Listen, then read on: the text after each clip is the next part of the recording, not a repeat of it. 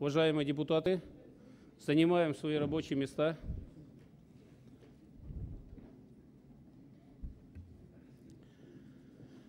Доброе утро, уважаемые депутаты и приглашенные. Из 54 депутатов присутствует э, 42 депутата, отсутствует 12 депутатов. Э, Уважаемые коллеги, сейчас необходимо зарегистрироваться с помощью электронных карточек. Просьба включить режим регистрации.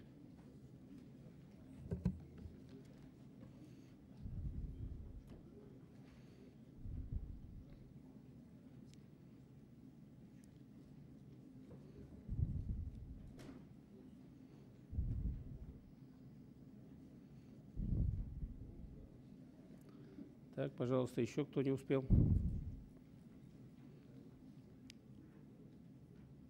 Результаты на экранах. Кворум имеется. Пленарное заседание правомочно и объявляется открытым. На заседании приглашены и присутствуют губернатор области Никита Юрьевич Белых, член Совета Федерации Олег Александрович Казаковцев, депутат Государственной Думы Сергей Павлович Мамаев, члены правительства области, руководители органов государственной власти области и территориальных подразделений федеральных органов власти, представители муниципальных образований, общественных организаций, средств массовой информации. Просьба на время заседания отключить средства мобильной связи или перевести их в режим совещания. Уважаемые коллеги, прежде чем продолжить, разрешите поздравить Елену Александровну Перминову, у которой вчера был юбилей. Елена Александровна, э, да, да, Елена Александровна возглавляет не только один из важнейших комитетов законодательного собрания, но и работает в руководстве многотысячного коллектива крупнейшего градос- градообразующего предприятия нашей области. Разрешите пожелать юбиляру дальнейших успехов и в производственной сфере, и депутатской деятельности, семейного счастья, здоровья, любви и положительных эмоций. И по поручению Сергея Евгеньевича Нарышкина э, позвольте вручить Елене Александровне почетную грамоту Государственной Думы Федерального собрания Российской Федерации за существенный вклад в развитие законодательства в Российской Федерации.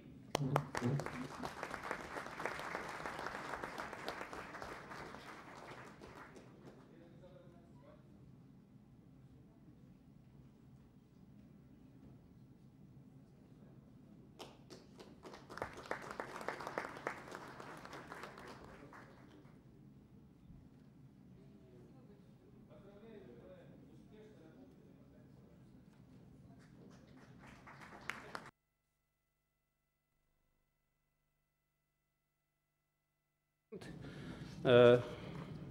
От имени Законодательного собрания области почетной грамотой Законодательного собрания награждает э, Редькина Сергея Александровича, регионального директора Приволжской региональной дирекции открытого акционерного общества «Коммерческий банк «Подъем», депутата Законодательного собрания Кировской области пятого созыва за многолетний добросовестный труд и активную жизненную позицию в связи с 50-летним днем рождения. Где у нас Сергей Александрович?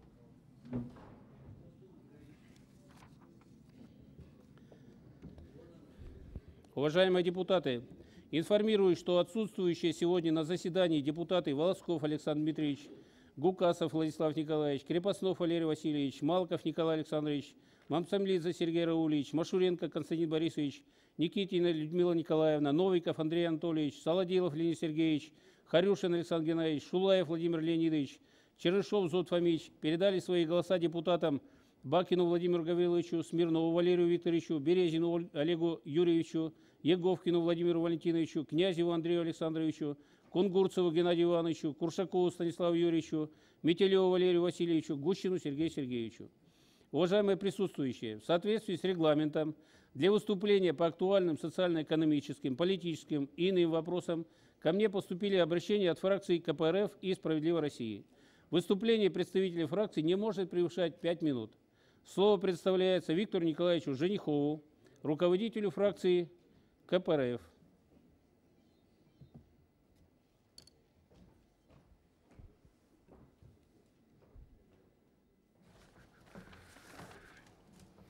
Добрый день, уважаемые коллеги. Э, в течение 2015-2016 года правительством под руководством губернатора проводится жесточайшее, иначе не скажешь, наступление на социальные права жителей Кировской области, которое в конечном итоге приводит к снижению покупательской способности населения, снижению уровня жизни. Вначале были отняты льготы у ветеранов труда федерального значения, студентов и школьников. Затем практически отняли права те, кто трудился практически в течение 40-45 лет, э, получить хотя бы звание ветерана труда Кировской области, так как каких-либо наград от своих руководителей практически ждать не приходится. Затем отняли у молодежи надежду на приобретение собственного жилья. И все это при активной поддержке депутатов от партии Путина-Медведева. А сейчас еще замахнулись и на святое сельских учителей. Эта льгота, насколько я знаю, действовала более 70 лет. И вот, э, значит, э, появился законопроект, который сегодня, хотя он и снят с рассмотрения, значит, э, чтобы отнять у сельских учителей льготу на отопление и на электроэнергию. Правда, отчасти сами, конечно, виноваты. Это расплата за угодничество. У нас ведь многие во власти находятся с педагогическим образованием. Помните, как главы районов и городов бросились все как один под копирку защищать Никиту Юрьевича, а что получается в ответ? От правительства угрозы с предложением уволиться уже сейчас, если не гарантирует на подчиненной им территории результат на предстоящих выборах более 80% в пользу, даже и партии не хочется называть, так как считаю, что партия, прежде всего, это ответственность перед народом, а тут, наоборот, полная безответственность. Правительство говорит, нет денег. Кризис у нас, все время кризис. 1998 год, э, кризис и дефолт. 2008 год, кризис. 2015 год, кризис. Я уже не говорю о беспределе 90-х. А власти все те же. Вы как инородное теле, тело на теле народа. Народ просто, вы знаете, вас ненавидит. Если нет денег, то на какие бабки сейчас работает в каждом районе и городе целые бригады и бригадиры от имени предполагаемых кандидатов от «Единой России». Самое время этим заинтересоваться прокуратуре, налоговым органам, да и силовые структуры не должны быть в стороне. Будьте бдительны, ведь в конечном итоге эти деньги будут отбиваться за счет бюджетов или ухода от налогов. Где брать деньги? Только что делегация в количестве 20 или более представителей во главе с губернатором посетила Китайскую Народную Республику, процветающую с высокоразвитой экономикой. Будет ли от этой поездки польза? Навряд ли, так как там на первом месте дисциплина и ответственность руководителей перед народом и государством. А у нас что, если премьер-министр заявляет, а зачем вводить прогрессивный налог, так как тут же последует сокрытие доходов и вывоз за границу. Это говорит лидер э, партии, власти и правительства. За это надо немедленно человека отстранять от всех должностей. Поэтому и на местах, на местном уровне руководители ведут себя как церкви. Только ответственность наступит, и расплата, расплатится с вами даже власть. Владимир Владимирович Быков, не стесняясь, отставит в судах продажу муниципальных земель за бесценок, вместо того, чтобы поблагодарить прокуратуру за бдительность. В то же время Сотни семей город наказал, отобрав землю у законных приобретателей, хотя при попустительстве городских властей, как оказалось, первоначально была захвачена мошенниками, а пострадали законные приобретатели. Надо ли говорить о состоянии дорог в городе, о беспределе в области застройки города?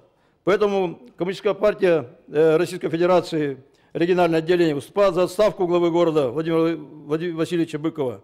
Я уверен, неоднократно об этом говорил, природа каждому воздаст по заслугам. И никакая вам церковь не поможет. Работать и жить надо во славу своей территории, своего государства, своего народа. Спасибо. Слово представляется Михаилу Викторовичу Конышеву от фракции «Справедливая Россия». Пожалуйста.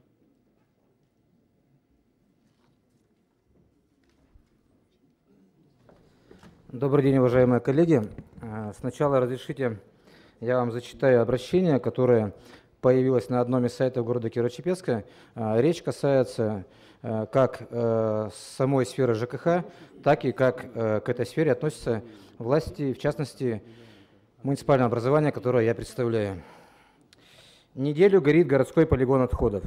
Вблизи зрелище выглядит апокалиптично. Столб дыма поднимается над тлеющим в глубине мусором, и только багровые огоньки видны на соседних кучах мусора. Аромат горения, расстилающийся на километры, не только дурно пахнет, горящий пластик не приносит пользы для здоровья. К счастью, до города зловоние не доходит. Но если вы понимаете, что если дым не идет в сторону города Керчь-Песка, то он идет в другую сторону. Но не похоже, что с огнем пытается активно бороться.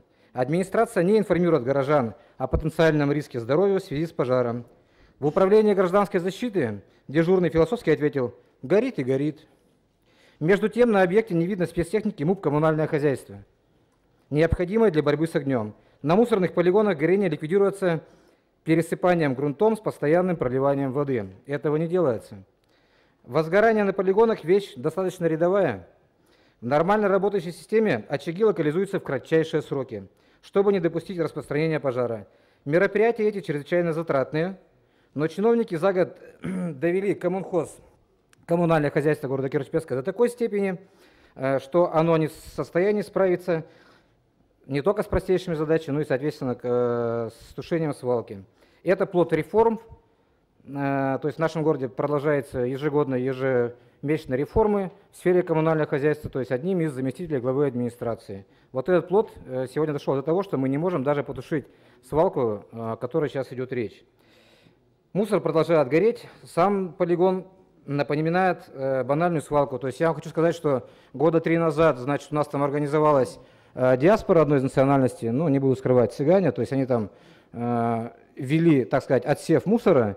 Э, их э, тогдашний директор с помощью полиции, э, так сказать, вывели из, этой, э, из этого полигона. Сегодня эта тема, так как полигон сегодня никем не охраняется, не обслуживается, э, вновь э, актуальна.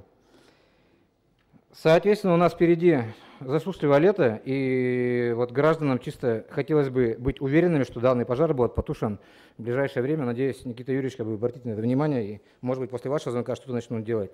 На самом деле, что касается реформ, э, то действительно не продолжается. То есть я как-то уже года полтора назад выступал по тему, как у нас проводятся собрания по капитальному ремонту в городе Кирово-Чепецке. Так вот, э, принцип э, проведения без общественности продолжается. Буквально недели две назад у нас была очередная встреча с жителями города Кирово-Чепецка, с гражданами, как написано, да? Но кто же эти были граждане? Как всегда, это была часть муниципальных работников, э, была группа людей в специальной одетой форме, я так понимаю, это те люди, которые должны были в это время убирать территорию вокруг администрации города. Как ни странно, опять был сотрудник полиции, Видно, опять чего-то опасались. Ну и о чем же шла речь? Э, речь не шла, в принципе, о том, на мой взгляд, э, как будет в кратчайшие сроки идти э, ремонт, а речь шла в кулуарах, как сказали источники из администрации, о том, как же будут собирать долги за капитальный ремонт. Так вот, одна из фирм в нашем городе, которая успешно, в кавычках, работает на рынке ЖКХ, предложила уже свои услуги о сборе, о работе с должниками. Я так понимаю, у нас скоро в городе могут появиться очередные коллекторы, э, за которые радеет родная администрация. Лично я, конечно же, буду против этого, но посмотрим, что покажет жизнь. Ну, наверное, в заключение хотелось бы сказать, что на самом деле сфера ЖКХ, она очень серьезная схема, э, тема. И вот э, все-таки приду, наверное, в заключение вот к чему. Все мы помним э, советские времена и помним государственные ЖЭКи. Нам в то время говорили, что чиновники проворовались, и придя в данную сферу частный бизнес наведет порядок. Я вам скажу, что лично мне стыдно за э, город Кирово-Чепецк в плане управления ЖКХ. Я все больше краснею за их работу, но также я краснею как бы так в сторону того, что вспоминаю те коммунистические времена советские, где все-таки порядка было больше. То есть, на мой взгляд, не нужно было данную сферу убирать частный бизнес, а менять всего лишь директоров, ставить нормального управленца, что сегодня, на мой взгляд, не делается. Спасибо. Спасибо, Михаил Викторович. Э, на заседании законодательного собрания предлагается рассмотреть вопросы, включенные в розданный вам сегодня проект повестки. По сравнению с разосланным ранее примерным перечнем произошли следующие изменения. Дополнительно включены вопросы о протесте прокурора Кировской области на закон области об областном бюджете на 2016 год. Протест внесен прокурором и уже, э, уже э, после рассылки и рассмотрен профильным комитетом. О проекте федерального закона о внесении изменений в федеральный закон о рыболовстве и сохранении водных биологических ресурсов вопрос был рассмотрен на заседании профильного комитета и рекомендован к включению в проект повестки. Исключен в связи с отзывом субъектом инициативы проект закона области о внесении изменений в статью 2 закона области об установлении дополнительных ограничений времени, условий и мест розничной продажи алкогольной продукции на территории области. Ставлю на голосование вопрос о принятии предложенного проекта повестки заседания за основу. Голосуем.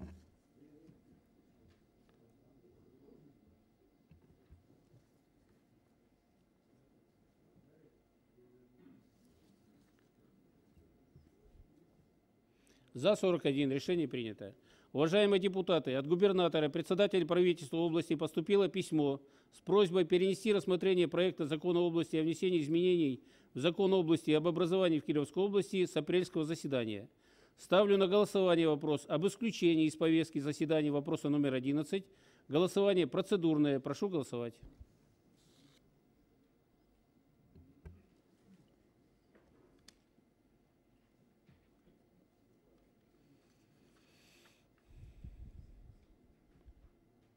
За 41, против 1. Решение принято. Вопрос исключен. Будут ли еще замечания, предложения по повестке? Николай Григорьевич Дубравин, пожалуйста. Э, Алексей Максимович, я бы попросил, чтобы 17 вопрос рассмотрели перед шестым, а не аналогичные вопросы о государственных, ну, о, о государственных должностях Кировской области.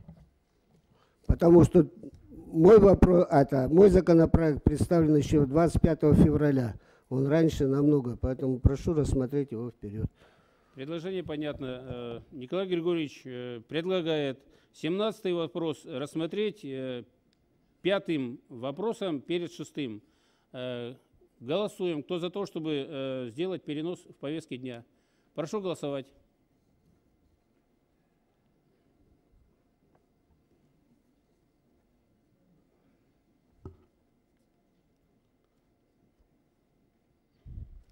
За 24, против 15, держалось трое. Решение принято, да, принимается э, 24 от 42.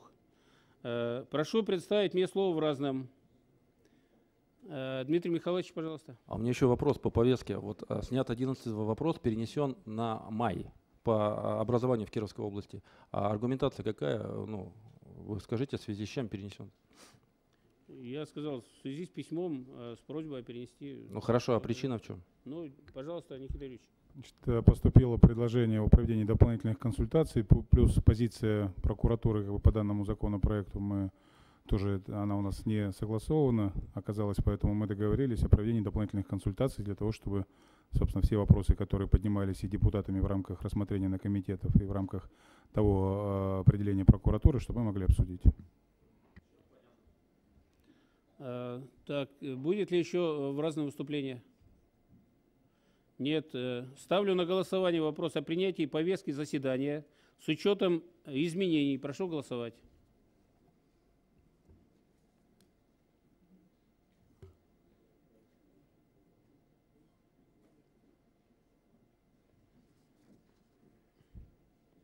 За 41 э, повестка принимается. Переходим к рассмотрению вопросов повестки заседания. Первый вопрос.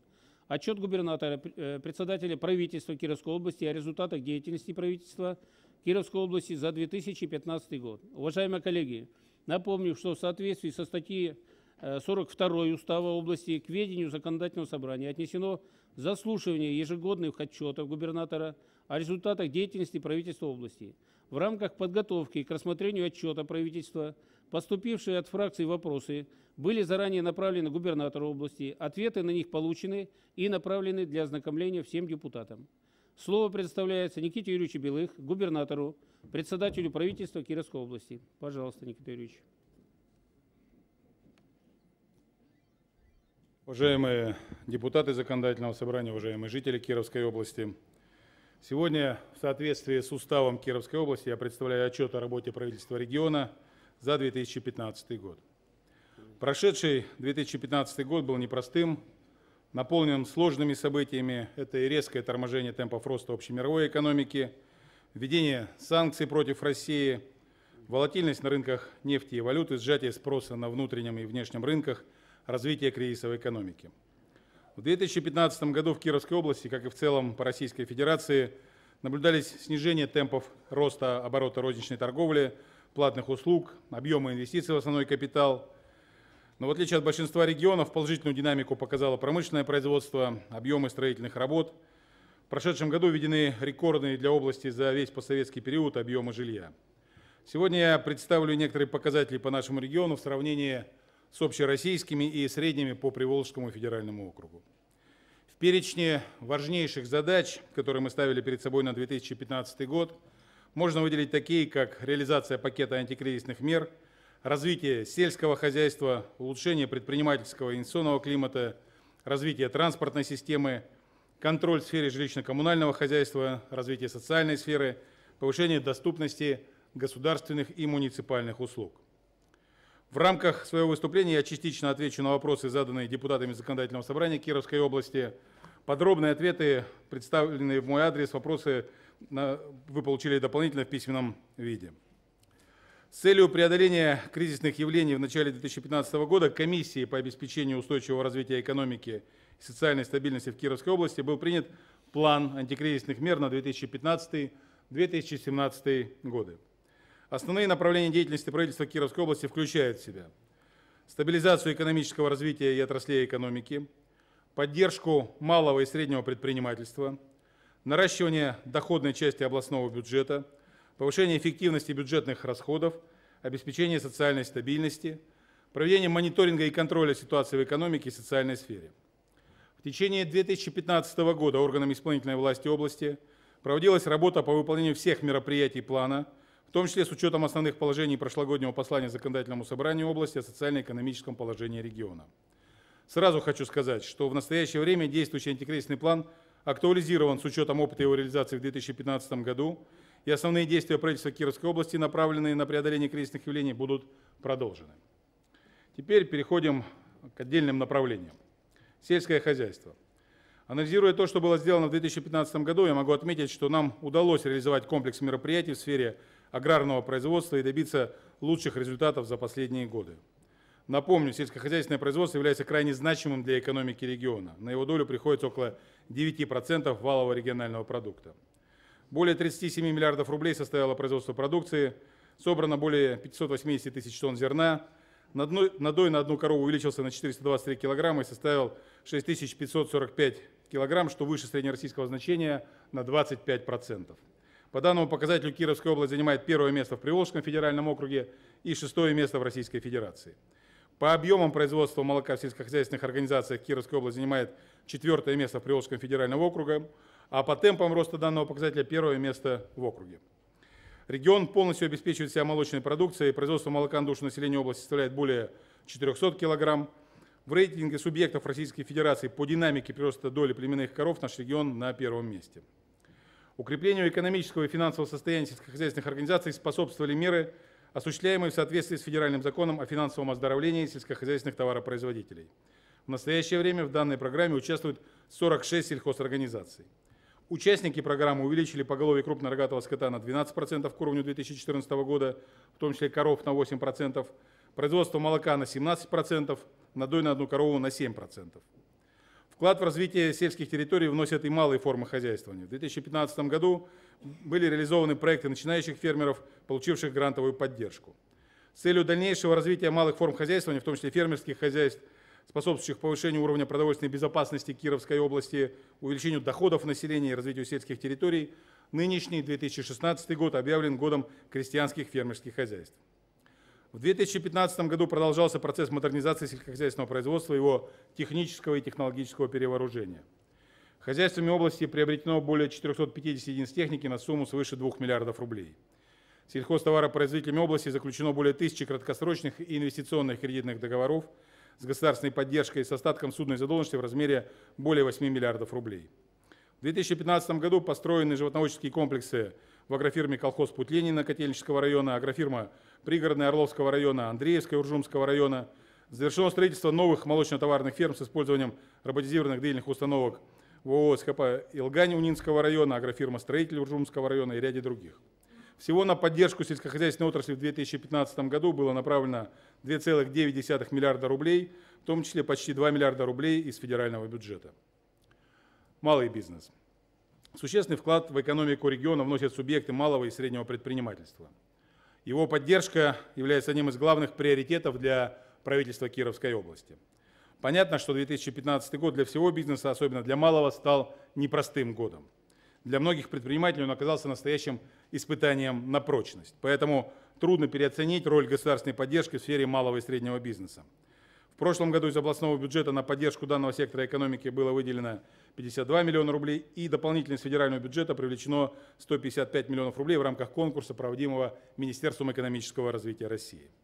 В условиях частичной приостановки кредитования коммерческими банками субъектов предпринимательской деятельности и существенного роста процентных ставок по кредитам было принято решение об увеличении сроков льготного кредитования малого бизнеса через Кировский областной фонд поддержки малого и среднего предпринимательства с одного года до трех лет. Благодаря этому 1300 индивидуальных предпринимателей и малых предприятий получили для своего развития более 850 миллионов рублей льготных кредитных ресурсов под низкую процентную ставку. Еще одним подспорьем в получении банковских кредитных ресурсов является программа гарантийного кредитования. Объем поручительств за субъектов малого и среднего предпринимательства перед банками составил порядка 60 миллионов рублей. Благодаря этому предприниматели привлекли 250 миллионов рублей кредитных банковских ресурсов на развитие своего бизнеса. В прошлом году остро стал вопрос об активизации процессов импортозамещения. Сделать это без новых технологий, без нового высокопроизводительного оборудования практически невозможно. Поэтому впервые в регионе была запущена программа технической модернизации малого бизнеса. Малым производственным компаниям возмещались затраты, связанные с приобретением оборудования – в итоге 136 предприятий приобрели основные средства на 308 миллионов рублей. Важным моментом в работе правительства области является развитие малого предпринимательства в моногородах. Для этого 11 муниципальным образованиям предоставлены средства областного и федерального бюджетов на реализацию муниципальных программ поддержки и развития предпринимательства. Общий объем поддержки в 2015 году составил 65 миллионов рублей, за счет которых 144 субъекта малого предпринимательства получили финансовую поддержку и проведено обучение более 120 начинающих предпринимателей и лиц, желающих заниматься предпринимательской деятельностью. В результате реализации мер финансовой поддержки сохранено почти 10,5 тысяч рабочих мест и создано более полутора тысяч новых рабочих мест. Еще одним значимым антикризисным проектом являлась разработка закона о налоговых каникулах для впервые зарегистрированных индивидуальных предпринимателей, осуществляющих деятельность в производственной, социальной научной сфере, а также в сфере оказания бытовых услуг. Считаю закон серьезной налоговой льготой, которая позволяет начинающим предпринимателям в течение двух лет не платить налоги и направлять высвободившиеся финансовые ресурсы на развитие своего бизнеса. Большое внимание в прошлом году было уделено вопросам межрегионального сотрудничества, которое, безусловно, открывает все больше и больше перспективы для продвижения местных товаропроизводителей на рынке регионов России. Данный процесс не может происходить без взаимного интереса, подтверждением которого является успешное проведение Дней Кировской области в Пермском крае, Нижегородской области, Республики Удмуртия, в рамках обратной связи буквально несколько дней назад состоялась экономическая миссия Удмуртской республики в наш регион. Проведение дней Кировской области позволило предприятиям региона выйти со своей продукции на новые рынки сбыта. На данный момент уже заключено 19 контрактов с торговыми сетями регионов-партнеров на поставку продукции, ведутся переговоры о расширении сотрудничества. В 2016 году эта работа будет продолжена. Планируется проведение Дней региона в республиках Коми и Башкортостан, а также городах Санкт-Петербург и Екатеринбург. В рамках развития международного сотрудничества в 2015 году состоялись визиты э, в наш город представителей посольств семи иностранных государств. Кроме того, в целях развития сотрудничества с Китайской Народной Республикой формата Волга-Янзы 24-25 э, марта 2016 года состоялась деловая миссия Кировской области в провинции Сычуань. В ходе визита подписано соглашение, согласно которому планируется сотрудничество в области экономики, торговли, научно-технической деятельности, в сфере информационных технологий и инноваций, создание совместных предприятий и по другим направлениям. Также в целях поддержки экспорта ориентированных предприятий региона в 2015 году организовано при поддержке правительства области 5 деловых миссий и 8 выездных э, мероприятий в Казахстане, Азербайджане, Германии и Белоруссии. Что касается промышленного производства. Индекс промышленного производства в 2015 году составил 103,3%, что соответствует 23 месту в Российской Федерации и 3 месту в Приволжском федеральном округе. В целом по России индекс промышленного производства в 2015 году составил 96,6%, по нашему Приволжскому федеральному округу 96,4%. Положительный темп роста промышленного производства в нашем регионе обусловлен увеличением объема работ в обрабатывающей промышленности, индекс производства в которой по итогам 2015 года составил более 104%. Положительную динамику объемов производства в обрабатывающей промышленности по итогам 2015 года показали производство пищевых продуктов, химическое производство, производство неметаллических минеральных продуктов. Почти на 60% выросли объемы производства машин и оборудования, что связано в первую очередь со значительным наращиванием производства продукции оборонно-промышленного комплекса, а также увеличением производства бытовых приборов. Значимыми инструментами, стимулирующими промышленное производство в муниципальных образованиях области с монопрофильным типом экономики является развитие инфраструктуры на их территории, а также создание парковых зон интенсивного развития. Сегодня в отчет о работе правительства я представлю только общие итоги 2015 года, однако понимаю, что вопросов, связанных с практической реализацией данных инструментов, достаточно много, и они вызывают большой интерес со стороны депутатского корпуса. Работа по развитию инфраструктуры и организации промпарков в моногородах, конечно, связана с определенными сложностями, которые мы готовы решать. Я предлагаю более подробно обсудить данный вопрос на отдельной встрече в рамках правительственного часа. К началу 2015 года на территории Кировской области велась работа по созданию промышленного парка в Вятских Полянах и промышленного парка Слободино. В числе приоритетов мы определяли для себя возможность создавать частные парки с привлечением активного бизнеса, обеспечив при этом в инвестиционном и налоговом законодательстве преференции для, резидентов промышленных парков и управляющих компаний. В 2015 году дополнительно были созданы еще три промышленных парка в сфере индустрии детских товаров «Игроград», на территории города Луза и парк «Конвер» на территории города Белая Холуница. Особенность промышленных парков в Лузе и Белой Холунице в том, что это частные парки. Уверенное их функционирование позволит изменить социально-экономическую ситуацию в моногородах, улучшить их инвестиционную привлекательность, создать новые рабочие места и в целом улучшить качество жизни населения. Успешной реализации данных проектов будет способствовать и работа правительства области по привлечению средств на строительство и реконструкцию объектов инфраструктуры, необходимых для реализации новых инвестпроектов в моногородах. С этой целью в 2015 году заключено Генеральное соглашение о сотрудничестве по развитию моногородов Луза и Белая Холуница с Фондом развития моногородов. В результате реализации данного соглашения уже удалось привлечь средства фонда на строительство и реконструкцию объектов инфраструктуры в моногороде Луза на сумму порядка 250 миллионов рублей. На очереди подписание соответствующих документов по Белой Холунице. Работа правительства области по развитию монотерритории не ограничивается только теми, о которых я сегодня рассказывал. Во всех 11 муниципальных образованиях с моноэкономикой, а это Кирс, Мурыгина, Стрижи и другие, разработаны комплексные инвестиционные планы, мы работаем со всеми. В целом, для стимулирования инвестиционной активности на протяжении нескольких лет мы реализуем мероприятия по улучшению инвестиционного климата в регионе, в том числе э, снятие административных барьеров и создание благоприятных условий для ведения бизнеса. Санкции в отношении России и удорожание кредитных ресурсов не могли не повлиять на инвестиционную активность предприятий. По предварительным данным за 2015 год на территории Кировской области освоено 56,5 миллиардов рублей инвестиций в основной капитал, что составило всего 82% к уровню прошлого года. В среднем по России индекс физического объема инвестиций в основной капитал составил 92%. Однако, если рассматривать динамику инвестиций в ретроспективе за 5 лет, то их объем в регион увеличился на 16%, что в два раза превышает аналогичный показатель среднероссийский. Правительством области, в том числе в рамках исполнения послания губернатора, принимались меры по стабилизации ситуации в данной сфере. Среди основных направлений я выделю следующие.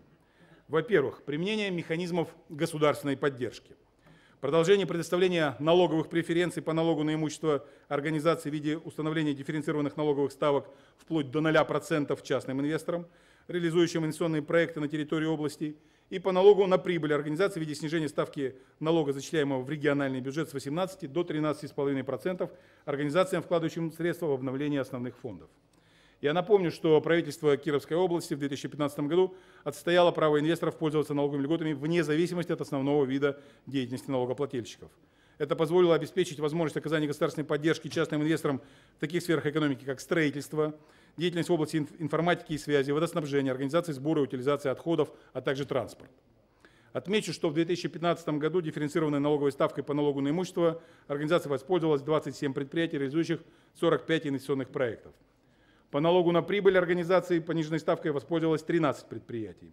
Эффект от применения данного вида поддержки – это создание высокопроизводительных рабочих мест, повышение эффективности производства и появление конкурентоспособных видов продукции.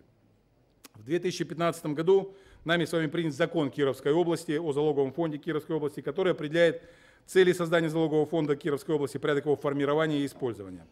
В настоящее время залоговый фонд создан, существует много вопросов, связанных с эффективностью и практикой использования данного инструмента. Все эти вопросы мы готовы обсуждать.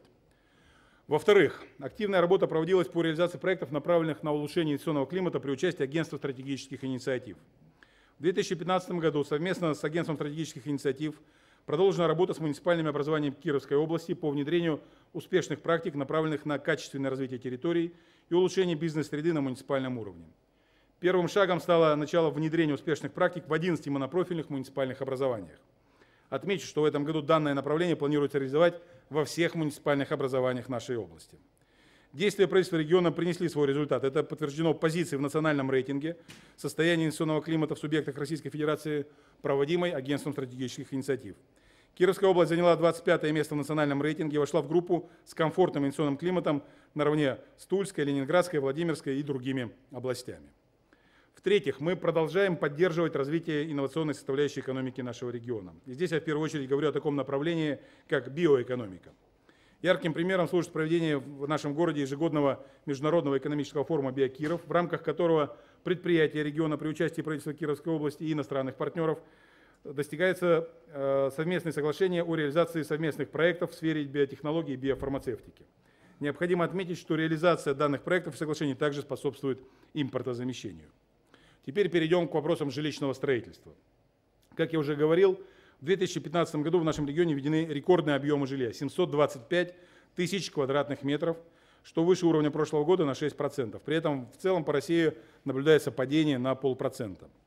Мы ожидаем, что в перспективе нам удастся сохранить объемы жилищного строительства, так как в настоящее время в стадии строительства находится более 1,7 миллиона квадратных метров жилья. Однако очевидно, что на данную сферу прежде всего влияет покупательская способность населения и развитие рынка ипотечного кредитования. Улучшение ситуации по этим направлениям будет способствовать стабильности рынка жилья и его развитию. В 2013 году в Кировской области реализуется, с 2013 года в Кировской области реализуется мероприятие по переселению граждан из аварийного жилищного фонда. В нашем регионе планируется в целом переселить более 7,2 тысяч граждан из аварийного жилья площадью более 105 тысяч квадратных метров. Данную работу необходимо завершить до 1 сентября 2017 года. Программу по переселению граждан мы исполняем с опережением. Всего за период ее реализации переселено 3645 граждан из 1537 аварийных жилых помещений площадью 55 тысяч квадратных метров. В прошлом году здесь, в законодательном собрании, в своем послании я озвучил плановые параметры программы переселения граждан на 2015 год. Отрадно отметить, что они перевыполнены в среднем на 8-9%. Так, на территории области переселено 1946 граждан из 835 аварийных помещений площадью почти 28 тысяч квадратных метров. Данная работа оценена и на федеральном уровне. Министерством строительства и ЖКХ России составлен рейтинг субъектов по динамике и эффективности реализации программы переселения граждан из аварийного жилья. Кировская область в рейтинге занимает достойное 19 место из 85 регионов. В 2016 году данная работа будет продолжена. Общий объем финансирования программы составит 885 миллионов рублей, в том числе 572 миллиона рублей за счет средств Фонда жилищно-коммунального хозяйства. За счет данных средств запланировано переселение более 2200 человек из 948 аварийных жилых помещений площадью почти 32 тысячи квадратных метров на территории 12 муниципальных образований области. Депутатами задавался вопрос обеспечения качества жилья для переселения. Данный вопрос находится на постоянном контроле со стороны правительства области и профильного регионального министерства, и мы готовы будем отчитаться об этой работе в рамках правительственного часа. Уровень жизни населения, торговля, цены на социально значимые продукты питания – вопрос, который, естественно, не может не волновать самую широкую общественность. Итак, по итогам 2015 года среднемесячная номинальная начисленная заработная плата одного работника составила чуть более 22 тысяч рублей, рост относительно уровня 2014 года на 4,3%. 0,3%. Напомню, что речь идет о номинальной заработной плате. Темпы роста соответствуют средним по России. Среднедушевые денежные доходы 22 400 рублей, рост относительно уровня 2014 года более чем на 10%. Однако реальные денежные доходы сократились на 4,2% относительно уровня 2014 года, что несколько лучше, чем в среднем по России, где падение оказалось более глубоким. Под влиянием снижения реальных доходов населения, в том числе из-за значительного роста цен, существенно изменилось потребительское предпочтение населения, которое перешло на сберегательную модель поведения. Оборот розничной торговли за 2015 год составил 175 миллиардов рублей, что в сопоставимых ценах на 7,7% ниже 2014 года. А, отмечу лишь, что сокращение оборота розничной торговли в среднем по России составило 10%, а по Приволжскому федеральному округу почти 13%. Стоит отметить работу, проводимую по стабилизации цен на социально значимые продукты питания. В прошлом году расширен с 15 до 20 позиций перечень социально значимых продуктов питания, на которые торговым организациям рекомендуется устанавливать размеры розничных торговых надбавок до 10% в городах и до 15% в других населенных пунктах. Кроме того, в марте 2015 года правительством Кировской области подписаны соглашения о сотрудничестве с действующими на территории региона крупными торговыми э, сетями Кировский облпотребсоюз, система «Глобус», Красногорский, продуктовая лавка, «Самобранка», «Новый простор». В рамках данных соглашений торговые сети подтвердили намерение не превышать рекомендованные правительством области торговые надбавки на 20 позиций социально значимых продуктов питания. В результате стоимость минимального набора продуктов питания, входящих в потребительскую корзину в декабре 2015 года по отношению к декабрю 2014 года выросла на 7%, что на 4 э, процентных пункта ниже роста цен на продовольственные товары в целом. Стоимость минимального набора на конец года 3200 рублей на человека. Что касается рынка труда. Уровень зарегистрированной безработицы на 1 января 2016 года составил 1,4% экономически активного населения.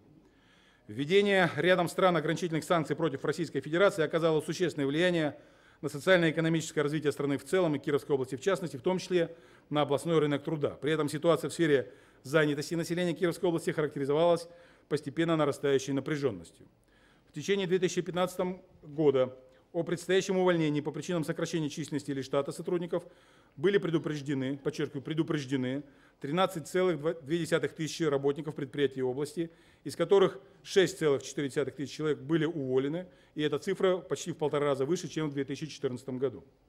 Численность работников организации области, рабочих в режиме неполной занятости на начало 2016 года составила 3700 человек, что более чем в два раза выше, чем на начало 2015 года.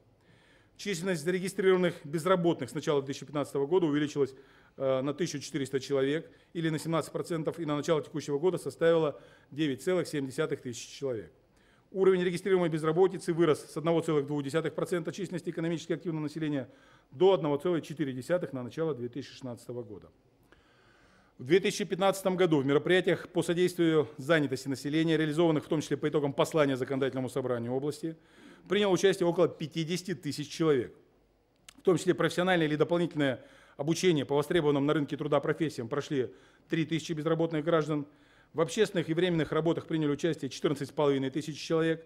Собственное дело при содействии органов службы занятости открыло 169 безработных, из них более 100 человек получили единовременную финансовую помощь на открытие собственного дела. При этом в мероприятии по содействию самозанятости принимали участие безработные жители моногородов, граждане, проживающие в сельской местности, где нет работодателей, женщины, имеющие детей в возрасте до 18 лет, а также инвалиды. Получателями пособий по безработице стало порядка 28 тысяч безработных граждан. Стипендию в период прохождения профессионального обучения получали 3 тысячи человек, досрочную пенсию 400 человек. В течение 2015 года на реализацию мероприятий областной государственной программы содействия занятости израсходовано 713 миллионов рублей, в том числе средства федерального бюджета 427 миллионов рублей. В 2015 году сдержать темпы роста безработицы и напряженности на областном рынке труда только региональными мерами не представлялось возможным. В связи с чем, в соответствии с постановлением правительства Российской Федерации, были разработаны дополнительные меры в сфере занятости населения, которыми было охвачено более 700 работников, находящихся под риском увольнения и ищущих работу граждан. Данные работники приняли участие во временных работах по оборудованию модернизации производственных площадей, а также направлены на опережающее профессиональное обучение по востребованным на предприятиях профессиям. Кроме того, в рамках реализации дополнительных мероприятий на рынке труда в 2015 году на постоянные временные рабочие места было трудоустроено 279 граждан, относящихся к категории инвалидов. На реализацию дополнительных мер э, было израсходовано более 25 миллионов рублей, в основном это средства именно федерального бюджета. Теперь о социальной поддержке. В условиях кризиса все большую актуальность приобретает социальная поддержка граждан. В 2015 году 302, 302 тысячи человек получали социальные услуги в формате социального обслуживания, а также 419 тысяч человек финансовую и социальную поддержку. Проведена работа по сокращению очередности граждан, нуждающихся в стационарной социальной помощи, которая за 2015 год сократилась в 1,7 раза и на 1 января 2016 года составила 262 человека, из них психоневрологические интернаты 222 человека. Кроме того, на территории Кировской области реализуется стационарозамещающая технология «Приемная семья» для граждан пожилого возраста и инвалидов в 24 учреждениях социального обслуживания населения из 40. На начало 2015 года приемных семьях проживало 53 человека, на начало 2016 года 71 человек. В 2015 году в соответствии с планом празднования 70-летия 70-летия Великой Победы 41-45 годов проводилась работа по улучшению социально-экономических условий жизни инвалидов, участников Великой Отечественной войны. 586 человек из 1196 человек инвалидов и участников Великой Отечественной войны, признанных нуждающимся в предоставлении социальных услуг по итогам исследования условий жизни, приняты в 2015 году на социальное обслуживание. В прошлом году между Министерством социального развития и Благотворительным фондом профилактики социального сиротства заключено соглашение о сотрудничестве по развитию областной модели профилактики отказов от новорожденных. В результате применения инновационных форм и методов социальной работы в отчетном году по сравнению с 2014 годом на 22% увеличилось количество семей, которые были сняты с учета в учреждениях социального обслуживания населения в связи с улучшением своего положения. В 2015 году продолжилась работа, реализация пилотного проекта по оказанию государственной социальной помощи на основании социальных контрактов. Я напомню, что пилотный проект стартовал в сентябре 2014 года на территории Санчурского, Тужинского, Иранского и Пижанского районов – с 1 сентября 2015 года присоединились Редскополянский и Малмышский районы, а также городские поселения названных районов. Напомню, что участниками пилотного проекта являются малообеспеченные многодетные неполные семьи, которые проживают на пилотных территориях не менее одного года. Социальное пособие используется на развитие личного подсобного хозяйства, а с 1 сентября 2015 года перечень имущества, на приобретение которых используется социальное пособие, был расширен. В него включены швейное и вязальное оборудование, садовые и строительные инструменты. Участие семей с детьми в пилотном проекте повышает их доход и мотивирует на самостоятельный выход из трудной жизненной ситуации. Среднедушевой доход семей, получивших данный вид помощи, увеличился в среднем на 18%. За период реализации реализовано проектов по 361 социальному контракту. В 2015 году была активизирована работа по предоставлению многодетным семьям земельных участков для индивидуального жилищного строительства. Так, по состоянию на январь 2016 года предоставлено более 5250 земельных участков. Доля удовлетворенных заявлений многодетных семей о получении земельных участков увеличилась за год с 60% до 79%. 14 апреля 2016 года на территории Кировской области в исполнении моего послания законодательному собранию области открыты первые офисы Почта банка. Это знаковое событие и для Почты России, и для нашего региона. Я напомню, что мы рассматривали данный проект в связи с уходом ряда финансовых структур из сельской местности. И мы рассматриваем, что этот проект как социальный, так как он будет способствовать решению проблемы доступности финансовых услуг для жителей области, проживающих в труднодоступных и малонаселенных пунктах. Теперь о демографии. Среднегодовая численность населения Кировской области в 2015 году составила чуть более 1 миллиона 300 тысяч человек, что на полпроцента меньше численности 2014 года. Сокращение численности связано как с ростом общей смертности в связи с поколенческим фактором, так и снижением рождаемости. В 2015 году численность родившихся сократилась на 1,2% по сравнению с аналогичным периодом прошлого года и составила чуть более 16,5 тысяч человек. В связи с уменьшением количества женщин фертильного возраста, вызванным демографическим провалом начала 90-х, добиться резкого роста рождаемости невозможно. Просто несколько цифр. Если в 2009 году количество женщин фертильном, то есть в возрасте, в котором женщины могут рожать, составляла 346 тысяч в 2009 году, то в прошлом 2015 году всего 260 тысяч. Соответственно, уменьшается и количество детей, рожденных первыми. Положительные результаты по рождаемости, которые мы достигали предыдущие годы, и, собственно говоря, тот уровень, который мы удерживали в 2015 году, достигались за счет вторых и третьих детей. Для примера, в 2009 году почти 8400 детей появились на свет в своих семьях первыми, а чуть более 7 тысяч детей вторыми и последующими. А в прошлом, 2015 году, первых детей было всего 6400, а вторых и последующих более 10 тысяч. Как мы видим, соотношение изменилось принципиально. Аналогичная ситуация складывается и в целом по стране. Поэтому мы понимаем, что вопросы рождаемости – это вопросы в том числе, как мы говорили, стимулирования, мотивирования к рождению вторых и последующих детей, поскольку, собственно говоря, для рождения первых детей сама база материнская, сама база женщин фертильного возраста, она уменьшается и в ближайшие несколько лет будет, к сожалению, иметь тенденцию к уменьшению. В целях решения вопросов в области демографии правительством региона утверждена концепция демографической политики в Кировской области на период до 2025 года, а также комплекс мероприятий, направленных на модернизацию системы здравоохранения, образования, на формирование здорового образа жизни и развитие в области физической культуры и спорта. В плане улучшения демографических показателей основное направление для нас – это снижение смертности. Этому вопросу мы уделяем большое внимание не исключение и послание прошлого года, в котором были определены основные успешно реализованные в истекшем году направления работы. По состоянию на 1 января 2016 года в реализации мероприятий пилотного проекта по дополнительному льготному лекарственному обеспечению жителей, страдающих определенными системами заболеваний системы кровообращения, участвуют 13 муниципальных образований Кировской области с общей численностью населения 325 тысяч человек или порядка четверти от общей численности населения региона. Для обеспечения приверженности к лечению установлен соплатеж населения в размере 10% от стоимости препаратов – с начала 2015 года в рамках реализации пилотного проекта за получением лекарственных препаратов обратилось порядка 32 тысяч пациентов. Пилотный проект приносит положительные результаты. Так, по состоянию на 1 января 2016 года значение показателя общей смертности на территориях участников пилотного проекта по предварительным данным составило 16,9 на 1 тысячу человек, что на 0,6% ниже, чем в 2014 и 2013 году. Смертность населения от болезни системы кровообращения по итогам 2015 года составляет 890 случаев на 100 тысяч человек населения. По сравнению с аналогичным показателем предыдущего года снижение составило 4,7%. Число госпитализаций пациентов по аналогичной причине в стационар с круглосуточным пребыванием снизилось на 11,5%, что является очень серьезным положительным показателем. Диспансеризацией взрослого населения по итогам 2015 года было охвачено более 200 тысяч человек – из которых на дальнейшее обследование и лечение направлено почти 70 тысяч, то есть каждый третий. В рамках реализации мероприятий, направленных на профилактику хронических неинфекционных заболеваний, в регионах проводятся массовые скрининг-акции, направленные на выявление онкопатологии, заболеваний сердечно-сосудистой системы, информирование населения о вредных факторах, влияющих на развитие хронических неинфекционных заболеваний, акции «Онкопост» и «Река жизни». Акция «Онкопост» проведена в 10 муниципальных образованиях Кировской области – диагностическую помощь получили более 7 тысяч пациентов. Вновь выявлено порядка 400 подозрений на онкологическую патологию. Пациенты направлены на дообследование и лечение. Акция «Река жизни» проведена в 8 муниципальных образованиях. За время проведения акции врачами-специалистами было принято более 4 тысяч пациентов, более 500 пациентов направлены на дополнительное обследование, 37 пациентам оказана высокотехнологичная медицинская помощь. 29 августа прошлого года на базе Центра медицинской реабилитации для детей «Айболит» детского клинического консультативно-диагностического центра состоялось открытие службы ранней помощи для детей от 0 до 3 лет с нарушениями развития или риском их возникновения и их семьям.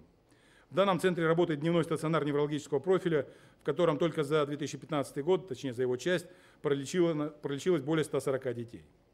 В рамках указа президента Российской Федерации от 7 мая 2012 года о мероприятиях по реализации государственной социальной политики продолжена реализация мероприятий в части повышения оплаты труда медицинских работников. По итогам 2015 года целевые показатели, установленные указом президента, выполнены. В рамках работы по развитию кадрового потенциала системы здравоохранения продолжалась работа по предоставлению различных мер социальной поддержки при поступлении на работу в сельской местности, в том числе единовременные выплаты в размере 1 миллиона рублей, а также обеспечение служебным жильем.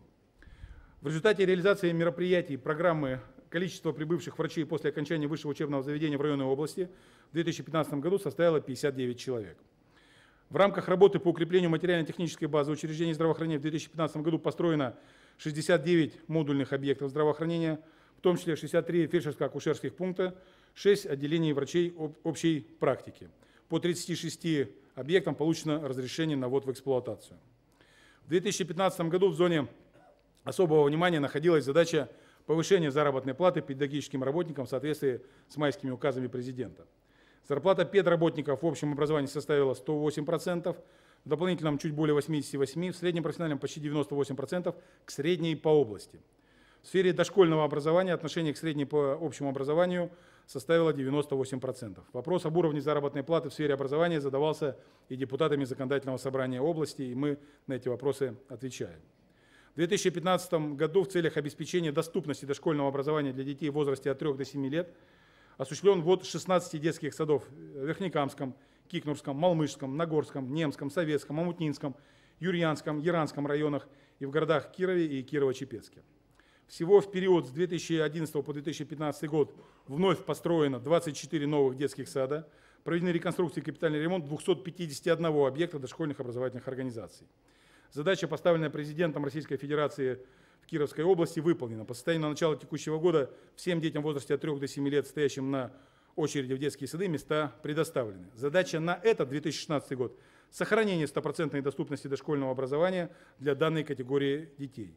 Следующим шагом должно стать сокращение очереди в детские сады детей в возрасте до 3 лет, в которых по состоянию на 1 января 2016 года стоит более 25 тысяч детей в возрасте от 2 месяцев до 3 лет. С целью создания в школах условий обучения, соответствующих новым федеральным государственным образовательным стандартам, правительством области в 2015 году утверждена программа по созданию новых мест в общеобразовательных организациях региона. До 2020 года планируется строительство 19 школ, приобретение двух зданий, а также модернизация уже существующей инфраструктуры 43 школ. Это позволит обучать в одну смену всю начальную школу и учеников 10-11 классов, а также более 90% учащихся остальных классов. Уже в 2016 году выделены средства из областного бюджета на приобретение зданий для размещения общеобразовательных организаций в поселке Гостовский и селе Колосово Шабалинского района. Кроме того, к концу года планируется ввод школы на тысячу учащихся с бассейном и помещением физкультурно-оздоровительного назначения в микрорайоне Зиновый города Кирова с привлечением средств федерального бюджета. Кстати, вчера было опубликовано распоряжение федерального правительства э, России, в соответствии с которым Кировская область как раз получит для реализации данного проекта более 300 миллионов рублей. На протяжении ряда лет созданная в области система работы по выявлению и поддержке одаренных детей доказывает свою эффективность. В 2015-2016 годах в топ-200 общеобразовательных организаций России, обеспечивающих высокие возможности развития способностей учащихся, попали учебные, э, учебные заведения и нашей области. Участие региона во Всероссийской Олимпиаде школьников является также очень серьезным индикатором качества общего образования. Показатель эффективности участия команды Кировской области в 2015 году увеличился. Каждый второй участник Олимпиады вернулся с победой. В 2015 году двое наших учащихся стали победителями международных олимпиад по биологии и информатике.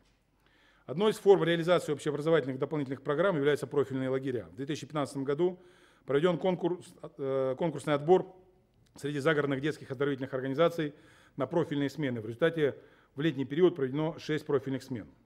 В сфере профессионального образования реализуется комплекс мероприятий, направленных на приведение системы подготовки кадров в соответствии с потребностями регионального рынка труда, укрепление потенциала среднего профессионального образования и повышение качества образовательных услуг.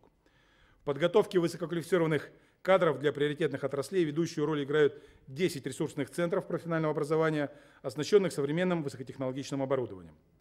Расширяется практика участия работодателей – в определении содержания и технологии профессионального образования. По итогам 2015 года все студенты профессиональных образовательных организаций обучаются по образовательным программам, в реализации которых участвуют работодатели. В рамках стимулирования и поддержки непрерывного профессионального образования в 2015 году, как и в 2014 году, 39% населения в возрасте от 25 до 65 лет повысили квалификацию и прошли профессиональную подготовку. Профессиональное обучение кадров под конкретные потребности работодателя осуществляется в многофункциональных центрах прикладных квалификаций, действующих на базе Вятского электромашиностроительного техникума и Вятского автомобильно-промышленного колледжа. За 2015 год на базе многофункциональных центров обучено более 320 человек из числа работников предприятий по заявкам социальных партнеров и обучающихся областных колледжей и техникумов. В регионе также создаются условия для получения среднего профессионального образования лицами с ограниченными возможностями здоровья и инвалидами. Для детей, имеющих особые образовательные потребности, в техникумах и колледжах открыты специализированные группы. В рамках реализации подпрограммы «Доступная среда» в 9 учебных заведениях проведены мероприятия по созданию универсальной безбарьерной среды. В октябре 2015 года Кировская область стала официальным участником движения World Skills Russia, целью которой является повышение качества профессионального образования, престижа рабочих профессий, расширение карьерных возможностей для молодых специалистов, вовлечение в систему профессионального образования работодателей – на базе Кировского лесопромышленного колледжа создан региональный координационный центр движения WorldSkills Russia. Значимым событием в сфере высшего образования региона в 2015 году стало создание опорного вуза в нашем регионе на базе Вятского государственного университета. Я напомню, что по итогам конкурсного отбора Вятский государственный университет вошел в число первых 11 региональных вузов, на базе которых будут созданы опорные университеты. Это позволит усилить высшую школу региона за счет объединения научных баз, кадровых, финансовых ресурсов, а также позволит обеспечить реорганизацию системы кадровой подготовки, привлечь сильных студентов, создать научные лаборатории и обеспечить кооперацию с крупными отраслевыми предприятиями региона. Одним из приоритетных направлений модернизации системы общего образования Кировской области является создание условий для сохранения и укрепления здоровья учащихся, воспитание культуры здоровья, здорового образа жизни. При этом большое значение имеет привлечение детей и молодежи к регулярным занятиям физической культурой и спортом. В 2015 году на создание в сельских школах условий для занятий физкультурой и спортом направлено 29 миллионов рублей. Осуществлен ремонт 21 спортивного зала. В Нагорском районе построена хоккейная коробка. Всего за два года проектом по улучшению условий для занятия физической культурой и спортом охвачено 46 сельских школ. В 2015 году число регулярно занимающихся физической культурой и спортом достигло почти 370 тысяч человек с ростом к уровню 2014 года на 11,5%. Это составляет 28% от общей численности населения Кировской области. В 2015 году в целях развития спортивной инфраструктуры области завершены реконструкция лыжебиатлонного комплекса «Перекоп», строительство физкультурно-оздоровительного комплекса в поселке Демьяново, строительство физкультурно-оздоровительного комплекса в Норильске, капитальный ремонт спортивного комплекса Верхошижемье. Большое внимание в регионе уделяется внедрению всероссийского физкультурно физкультурно-спортивного комплекса «Готов к труду и обороне». В муниципальных районах и городских округах Кировской области создано 47 центров и определено 369 мест тестирования. Одним из ярких событий 2015 года в Кировской области стало проведение фестивалей Всероссийского физкультурно-спортивного комплекса «Готов к труду и обороне», в котором приняли участие учащиеся и педагоги общеобразовательных учреждений, а также работники предприятий и учреждений Кировской области. Первое официальное мероприятие по выполнению нормативов ГТО среди учащихся 3 и 4 ступени было проведено в мае 2015 года на первом фестивале Всероссийского физкультурно-спортивного комплекса ГТО, посвященный 70-летней годовщине победы в Великой Отечественной войне, в которой приняло участие 468 человек. Вообще празднование 70-летней годовщины, 70-летней годовщины победы в Великой Отечественной войне стало важнейшим событием 2015 года. В рамках подготовительной работы к празднованию произведен ремонт 120 памятников и обелисков воинам-землякам, погибших в годы Великой Отечественной э, войны 41-45 годов на территории 32 муниципальных районов и городских округов. Кроме того, на средства, собранные региональным отделением Российского военно-исторического общества, отремонтированы и благоустроены памятники воинам-землякам в 15 районах области. Наш регион принял активное участие в проведении акции всероссийского масштаба «Вахта памяти», «Георгиевская ленточка», «Бессмертный полк», «Народная победа», «Солдатская каша», «Стады победы», «Сирень победы». Общее количество участников составило более 200 тысяч человек. Всероссийская акция «Вспомнить всех поименно» на территории, э, на территории области проходила в рамках областного общественного проекта «Знамя Победы», в котором принимало большое участие, в том числе и депутаты законодательного собрания. В городе Кирове проведена реконструкция мемориала «Вечный огонь» на набережной Грина. Аналогичная работа проводилась в Верхошижемском, Доровском, Апаринском, Оричевском, Котельническом, Налинском районах, а также в Кирово-Чепецке. Создание аллеи славы в Парке Победы города Кирова – одно из знаковых событий юбилейного года. Открытые бюсты маршалам Коневу, Соколову, Вершинину, Говорову, также памятник рядовому разведчику Красной Армии Григорию Булатову. В целях увековечения памяти кировчан на аллее славы установлены памятные плиты героям Советского Союза. В городе Вязкие Поляны установлен памятник пистолет-пулемет Шпагина «Оружие Победы». В рамках всероссийской акции «Вахта памяти» в экспедициях на территории Новгородской и Ленинградской областей приняли участие более 200 молодых ребят-поисковиков из нашей области, которыми было найдено и захоронено остатки 245 солдат и командиров Красной Армии. На основе подлинных архивных документов, хранящихся в государственных архивах Кировской области, подготовлен и вышел в эфир телеканала «Россия-1» цикл телепередач «Навстречу победе» о вкладе кировчан и жителей области в победу над фашизмом. Издана серия сборников архивных документов «Испытания войной», Проведены историко-документальные выставки архивных документов, подготовлены статьи, радиопередачи, посвященные юбилею Великой Победы. В рамках исполнения майских указов президента Российской Федерации, а также плана мероприятий по изменениям в отраслях социальной сферы, направленных на повышение эффективности сферы культуры, целевые индикаторы развития сферы культуры региона в 2015 году также выполнены. По состоянию на 1 января 2016 года средняя заработная плата работников учреждения культуры без совместителей составила 15,160 рублей или 75% от средней заработной платы по региону. В 2015 году продолжилось строительство здания детского космического центра в городе Кирове. Напомню, ввод в эксплуатацию объекта запланирован на конец этого 2016 года. Также проведены ремонты четырех зданий муниципальных учреждений культуры Амутнинского, Советского, Оричевского и Юрьянского районов. Расходы на капитальный ремонт зданий муниципальных организаций культуры и зданий образовательных организаций за счет средств резервного фонда президента Российской Федерации составили более 15 миллионов рублей. Состоялось торжественное открытие здания культурно-творческого молодежного центра в Кельмезе Кельмецкого муниципального района Кировской области. Также введены в эксплуатацию четыре центра культурного развития э, в поселке Стрижи Орического района, городах Кирово-Чепецкий, Слободской, Яранск, строительство которых организовывалось на паритетных началах за счет средств федерального и регионального бюджетов. В 2015 году за счет средств федерального бюджета реализованный проект «Холуницкий Арбат» благоустройство территории в исторической части города Белая Холуница и в городе Котельниче проект «Котел времен». Напомню, что 2015 год в Кировской области был объявлен годом литературы, в рамках которого в регионе прошли такие значимые события, как Всероссийский конкурс сочинений по литературе и региональный конкурс сочинений «Да будет светлая наша память».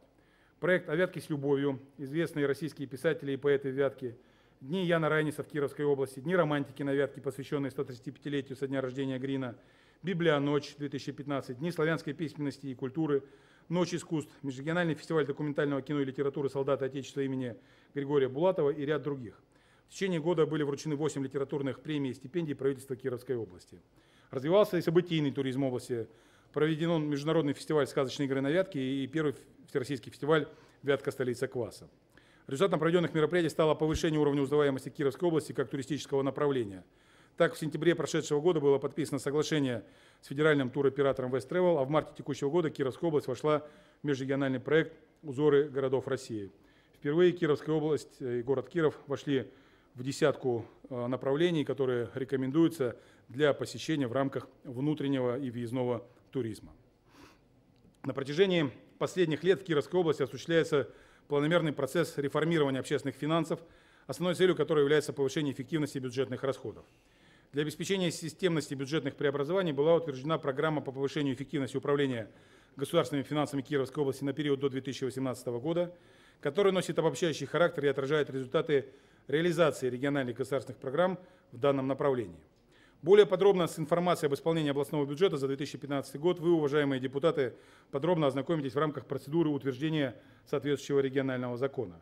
Так, 5 мая 2016 года состоятся публичные слушания по проекту закона, в рамках которых заместитель председателя правительства области Елена Васильевна Ковалева доложит по данному вопросу подробно. После этого, в соответствии с э, принятым постановлением правительства Кировской области, до 10 мая законопроект об исполнении бюджета за 2015 год будет внесен в законодательное собрание и обсужден и рассмотрен вами в рамках майского заседания.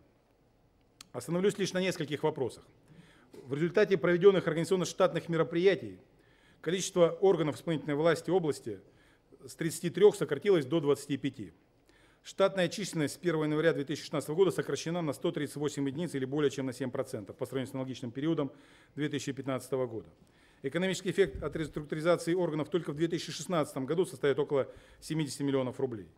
Во исполнение моего поручения, данного в рамках послания 2015 года, были сделаны шаги по созданию оптимальной сети областных учреждений. За прошедший период количество областных государственных учреждений уменьшилось на 28 единиц. В том числе сокращено три учреждения, реорганизовано путем слияния и объединения 31 учреждения, создано 6 новых. Осуществлено сокращение численности работников, в первую очередь административно-управленческого аппарата и вакантных ставок проведено высвобождение объектов имущественного комплекса. Экономический эффект от проведенных оптимизационных мероприятий составил по итогам года 525 миллионов рублей. Несколько слов о проекте «Народный бюджет», который реализуется Министерством финансов Кировской области в городских поселениях и заключается в том, что комиссия, состоящая из местных жителей, имеет возможность распределить часть бюджетных средств муниципалитета по своему усмотрению. Данный проект – доказал свою успешность. Несмотря на жесткие бюджетные ограничения, мы изыскали средства на поддержку этих народных инициатив. В 2015 году по конкурсу было отобрано 7 городских поселений, которые получили гранты из областного бюджета в размере 1 миллиона рублей. По результатам отбора 2016 года Афанасьевское, Доровское, Кельмецкое, Мурашинское, Налинское, Амутнинское, Мирнинское, Свечинское, Уржумское и Фаленское поселения – получили право на участие в данном проекте. Отметим, что города Мутнинск и поселок Мирный участвуют в народном бюджете уже третий год подряд. Город Уржум принимал участие в проекте в 2014 году, а Афанасьевское, Кельмецкое и Фаленское городское, городские поселения участвуют второй год подряд. Мы продолжаем практику самообложения. Жители Кировской области активно участвуют в пополнении местных бюджетов через реализацию проектов по самообложению. Самообложение в 2015 году введено в 148 поселениях 30 муниципальных районов области. На каждый собранный в 2015 году рубль средств самообложения в 2016 будет выделено полтора рубля из областного бюджета в виде межбюджетных трансфертов на общую сумму более 17 миллионов рублей. Еще одной формой вовлечения граждан в процесс решения местных проблем остается проект по поддержке местных инициатив. С учетом финансовых возможностей области На реализацию проекта поддержки местных инициатив в 2015 году было выделено 100 миллионов рублей на 2015 год и 70 миллионов рублей на 2016.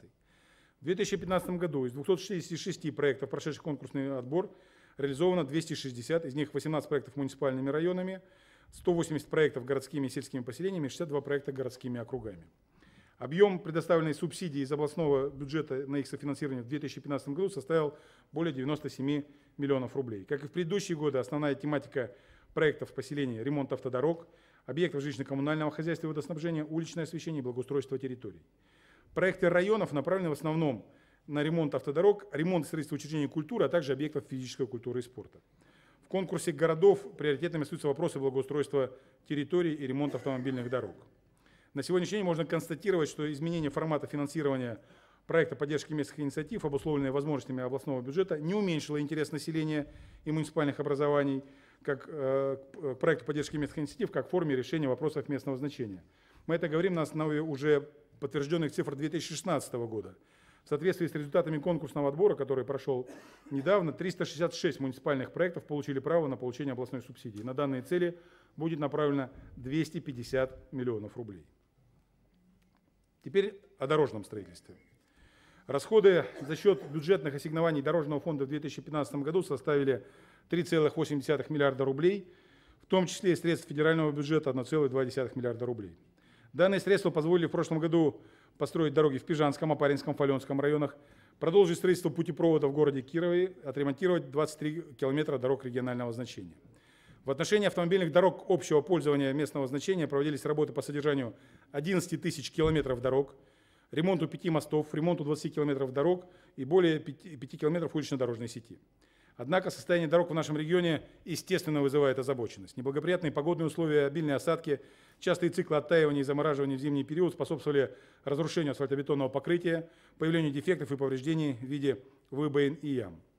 С целью приведения в порядок дорожной сети муниципальных образований Кировской области в настоящее время решен вопрос о выделении дополнительных средств из областного бюджета в объеме 150 миллионов рублей. Естественно, большая часть этих средств будет направлена на уличную дорожную сеть города Кирова, но и э, часть других муниципальных образований также получит дополнительные ресурсы. Завтра в рамках отдельного совещания мы рассмотрим данный вопрос более подробно. От депутатского корпуса поступал вопрос об улучшении состояния дорожного полотна трассы Киров-Пермь. Вопрос будет решен путем включения данной дороги в перечень автомобильных дорог общего пользования федерального значения, что позволит улучшить качество обслуживания данной дороги. Эта работа уже начата, но, естественно, и содержание, и ремонт этой дороги также будет э, в этом году осуществляться. Ключевой задачей в области развития авиаперевозок, которая стояла перед правительством области в рамках послания законодательному собранию 2015 года, является расширение маршрутной сети и приход новых авиакомпаний.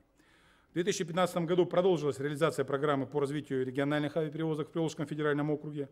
Авиарейсы осуществляются в 6 городов э, ПФО – Казань, Нижний Новгород, Пермь, Самару, Ижевск, Уфу. Количество перевезенных пассажиров через апорт Победилова в рамках этой программы составило почти 16 тысяч человек, что на 40% превышает пассажиропоток 2014 года.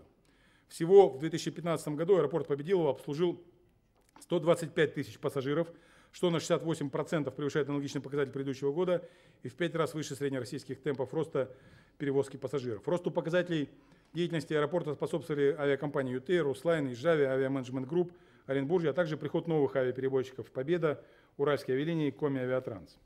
Благодаря обновленным техническим характеристикам аэропорта в 2015 году получено разрешение на прием и выпуск воздушных судов Boeing 737 всех модификаций и Аэробус А319, А320.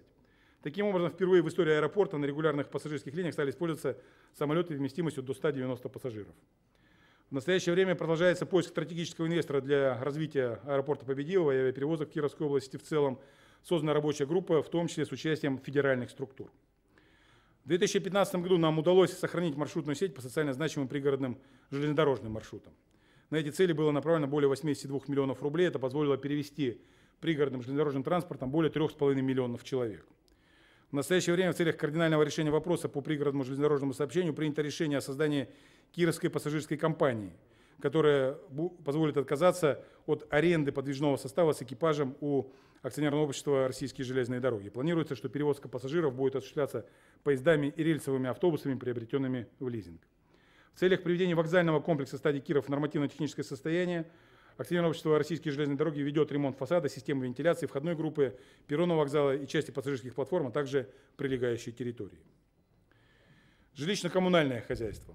Основным направлением в отрасли жилищно-коммунального хозяйства является проведение модернизации и реконструкции объектов коммунальной и жилищной инфраструктуры. В 2015 году на данные цели было израсходовано 57 миллионов рублей, за счет которых были проведены работы по ремонту котельных, тепловых сетей, модернизации объектов водоснабжения и водоотведения. Модернизация объектов коммунального комплекса, проведенная с применением энергосберегающего оборудования, материалов, технологий на основе энергетических обследований и проектной документации, позволила в том числе выполнить работы по модернизации котельных в Афанасьевском, Верхнекамском, Лузском, Орловском, Шабалинском, Подосиновском, Кирово-Чепецком, Юрьянском районах и в городе Слободской, а также провести замену 20 котлов различной мощности, выработавших свой ресурс на более экономичный с максимальным для каждого вида топлива коэффициентом полезного действия.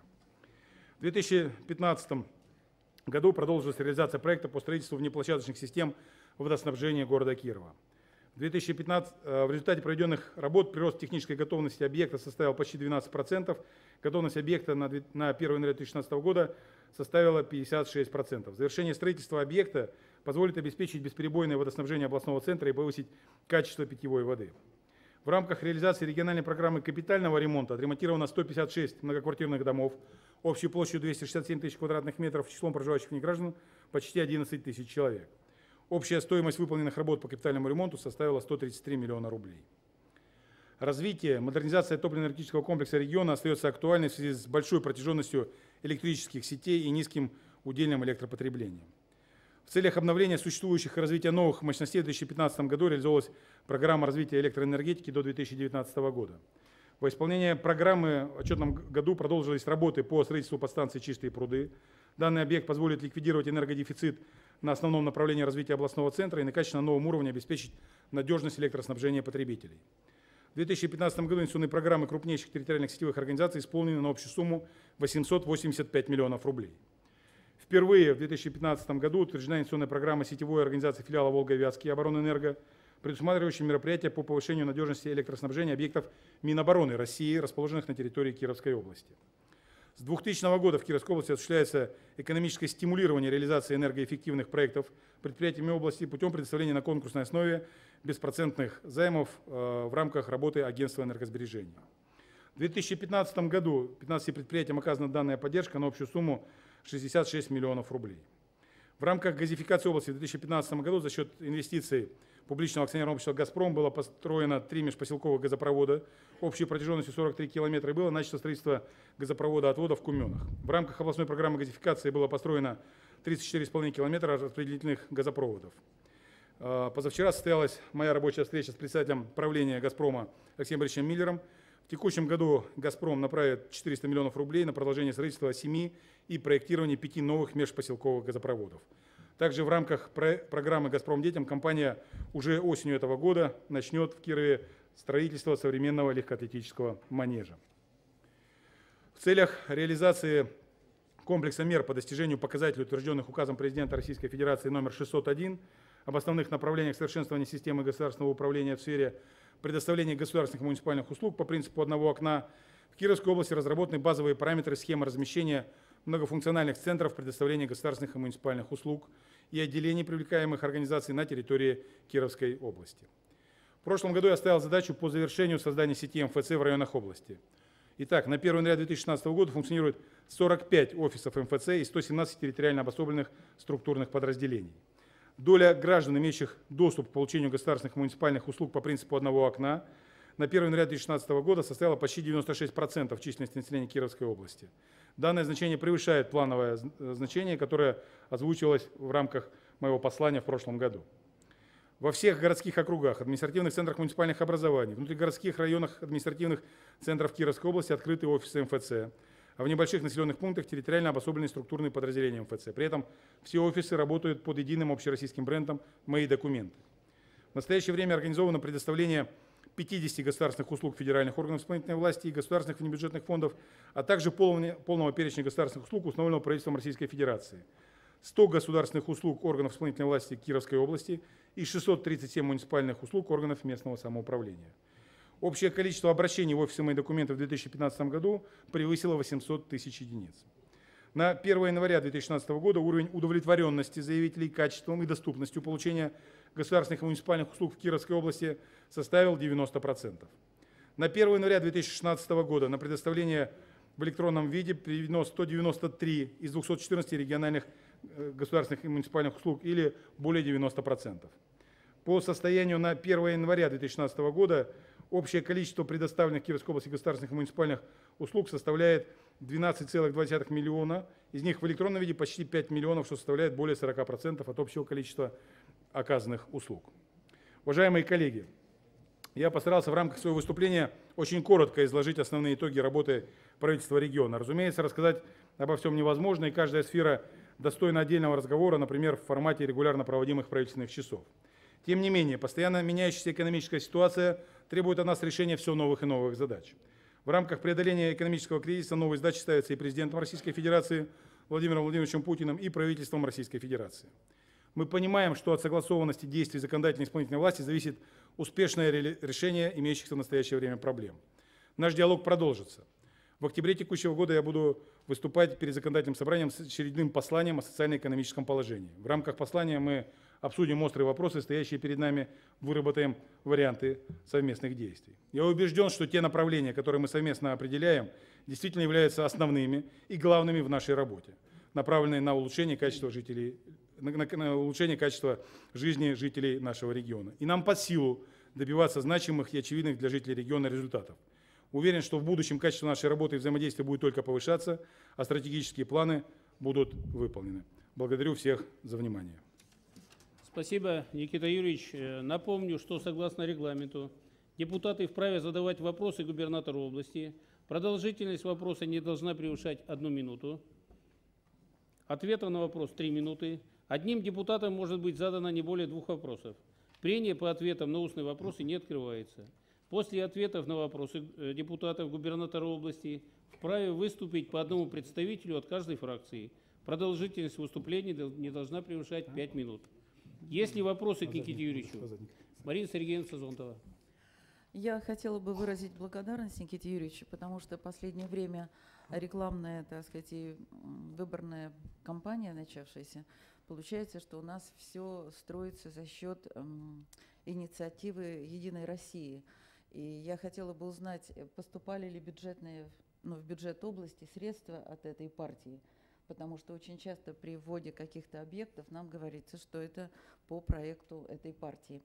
Я не услышала в вашем ответе, вернее, в вашем отчете этот, эту информацию, так что, надеюсь, я не ошибаюсь, что таких поступлений не было. Мой вопрос более конкретный.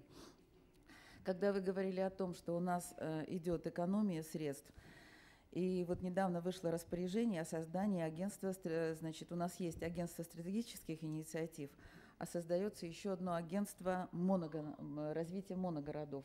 Это тоже потребует э, новых бюджетных средств или это будет за счет каких-то других изменений? Спасибо. Мгм. Значит, что касается первого вопроса, э, бюджет, естественно, средства ни от «Единой России», ни от одной другой политической партии, к сожалению, не поступают. Буду признателен, если все партийные структуры, представленные как в региональном парламенте, так и в целом на политическом пространстве, будут скидываться и наполнять бюджет добровольными взносами. Значит, поэтому, что касается э, э, выступлений, я не помню, чтобы от правительства области озвучивались э, те или иные проекты с приданием той или иной политической окраски. Так? То есть, если, собственно говоря, вопрос к представителям политических партий, да, естественно, они там могут, наверное, обосновать свою позицию там, инициативами, которые они делали, собственно говоря, проектами, которые реализовывались э, со стороны партии. Но это точно как бы вопрос не к правительству.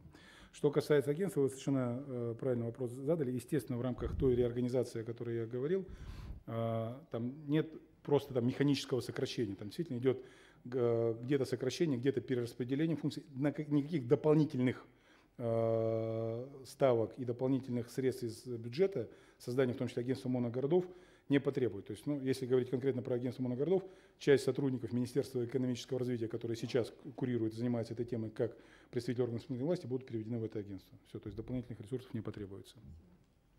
Э, Владимир Иванович Осетров. Никита Сергеенков нам оставил госдолг э, полтора миллиарда Шаклейн оставил 3,5 миллиарда. Вы нам оставляете госдолг 26 ми- миллиардов рублей. Кто его будет выплачивать, когда вы уедете? Владимир Иванович, значит, э, мне очень жаль, что э, курсы финансовой грамотности, которые мы осуществляем в целом по области, не посещают отдельные депутаты законодательного собрания. Я думаю, что мы попросим Министерство финансов привлечь депутатов к этой работе, поскольку э, понятие государственного долга, оно весь этот период времени трансформировалось. То есть если вы говорите о периоде э, работы Владимира Ниловича, то государственный долг, который формально э, не был отражен как государственный долг, существовал в виде кредиторской задолженности по заработной плате, по жилищно-коммунальному хозяйству, по многим другим направлениям. И составлял гораздо большую сумму в относительном выражении по отношению к собственным доходам, чем нынешние. С определенного периода э, позиции Министерства финансов Российской Федерации была принята жесткая нормативная, никаких долгов по заработной плате работников бюджетной сфере, никаких долгов по жилищно-коммунальному хозяйству, это показатель, который оценивается отдельно. Все эти долги, таким образом, по сути дела, были конвертированы в официальный прозрачный государственный долг, потому что очень просто в рамках э, бюджета сказать, у нас нет государственных долгов, как долгов, да, просто мы должны всем, мы должны ЖКХ, мы должны там работникам и, и все остальное. Вот эта как бы ситуация была, значит, э, э, уже как бы там в середине 2000-х годов преобразована в формат государственных долгов. Поэтому, э, что касается государственного долга Кировской области, он э, не является критическим с точки зрения там, других регионов. Да, у всех как бы, регионов существуют государственные долги. Мы не входим даже в первую двадцатку по как бы, величине там, государственного долга по отношению к собственным доходам. То есть то, что как бы, у- в целом у регионов долги наращиваются как раз для необходимости исполнения социальных обязательств, в том числе и по повышению заработной платы, является общеизвестным фактом, то есть он, собственно, озвучивается там, на всех уровнях. Поэтому я понимаю и очень как бы, рад, что вы так сопереживаете вопросы финансовой дисциплины, но, собственно говоря, рекомендую пройти курс повышения финансовой грамотности. Я попрошу отдельно Министерство финансов подготовить соответствующую справку и предложение для э, депутатов законодательного собрания. Николай Григорьевич Дубровин, пожалуйста. Мы подготовим предложение, а уж каждый, кто воспользуется. Меня выступление. Валерий Николаевич Турула. Э, Никита Юрьевич, э, на мой взгляд, э, можно говорить о- частностях очень много, и у нас складывается впечатление, что больше у нас успехов, чем неудач. И в крайнем случае достаточно оптимистично доклад прозвучал. Э, Я буду задавать вопрос несколько другого характера. Это системности в нашем подходе, и элемент э, системности в деятельности правительства предполагает наличие приоритетов, их исполнение и, самое главное, как результат развития территории. Вот суть вопроса, она так и звучит. Каковы все же были определены приоритеты, насколько мы увеличили э, налогооблагаемую базу, то есть э, то, что позволяет нам обеспечить наполняемость бюджета. Ну и в соответствии с, это, э, с этим, э, насколько мы подняли жизненный уровень и развитие территории по сравнению с 2014 годом. Спасибо. Значит, частично соглашусь с недостатками там, системности, но это как бы проблема носит, как говорится, общеродовой характер. Так? То есть понятно, что в условиях, когда э, мы были вынуждены э, по федеральному решению перейти там, с трехлетнего планирования на э, там, однолетнее, так? то есть говорить о каких-то системных э, решениях э, с каким-то более-менее внятным горизонтом планирования крайне сложно. Да? То есть мы сегодня вот живем в формате такого годового планирования. Значит, если говорить о приоритетах, я их обозначил в самом начале, который, э, там, если можно, первый слайд поставьте, пожалуйста. Точнее, не первый, там третий он получается. Я пока зачитаю, да? Значит, э, стабилизация экономического развития, поддержка малого и среднего бизнеса, наращивание доходной части, повышение эффективности бюджетных расходов, обеспечение социальной стабильности. Значит, э, собственно говоря, по доходной части, э, я думаю, что в цифрах этот вопрос вы можете будете рас- рассмотреть в рамках отчета об исполнении бюджета за 2015 год. Могу сказать, что мы перевыполнили планы по доходам. Правда, это не есть результат э, там, системной работы. Да? То есть, если вы помните, мы обсуждали как, э, вопрос, когда э, рассматривали отчет об исполнении за 2014 год и говорили, что у нас в 2014 году был провал по налогу на прибыль, как раз за счет того, что часть этих налогов перешла на 2015 год. Да? То есть, поэтому, когда вы будете смотреть отчет об исполнении бюджета за 2015 год, вы увидите там как раз ту, собственно говоря, тот прирост, который у нас э, был, скажем, провален там в 2014 году. Так? То есть э, общий рост э, по другим налогам, э, образу, образующими региональный бюджет, то есть это налог на доходы физических лиц, это налог на имущество предприятий, это различные акцизы, то есть и налоги, взимаемые с упрощенной системы налогообложения, единого налога на вмененный доход, они носят, в общем, такой, как говорится, среднероссийский характер, каких-то всплесков э, и, значит, там, э, или провалов, наоборот, нет. То есть, скажем, там ФОД растет, значит, там, средне, э, там, российскими темпами, так, и, соответственно, там объемы налога на доходы физических лиц налоги на имущество тоже, понятно, надо будет корректировать эти цифры на те налоговые льготы, которые мы сами же предоставляем э, предприятиям. То есть в целом э, общее там, движение, оно там, не отличается от среднероссийского. Почему я и иллюстрировал э, данные э, средними по России и по ПФО, чтобы показать, что да, там есть какие-то показатели, которые у нас э, там, э, лучше, какие-то значит, там, э, чуть хуже, чем среднероссийские, но в целом то есть, нам э, невозможно быть кардинально отличными от тех как бы, процессов, которые происходят в России в целом. То есть, там, условно говоря, э, где-то мы там, за счет большей доли, например, оборонки в, в структуре промышленности и роста по оборонке имеем индекс промышленного производства выше, чем среднероссийский, просто за счет того, что там у нас доля этого, э, значит, э, этой отрасли выше. Да, по каким-то направлениям у нас как бы провал больше. Да.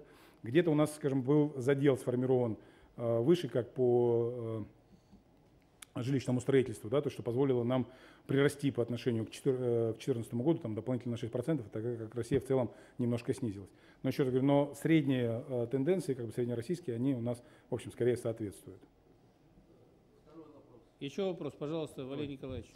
Э, я все же еще один вопрос задам, и считаю он принципиальный. Вот очень была активно проведена работа в социальной сфере по свертыванию льгот, по экономии расходов, по повышению адресности. И в результате, э, ну, в моей личной оценке, я на нее имею право, да, произошло некое ущемление и снижение вот этого жизненного уровня, э, прежде всего, незащищенных слоев населения. Как вы считаете, это успех правительства или недостаток?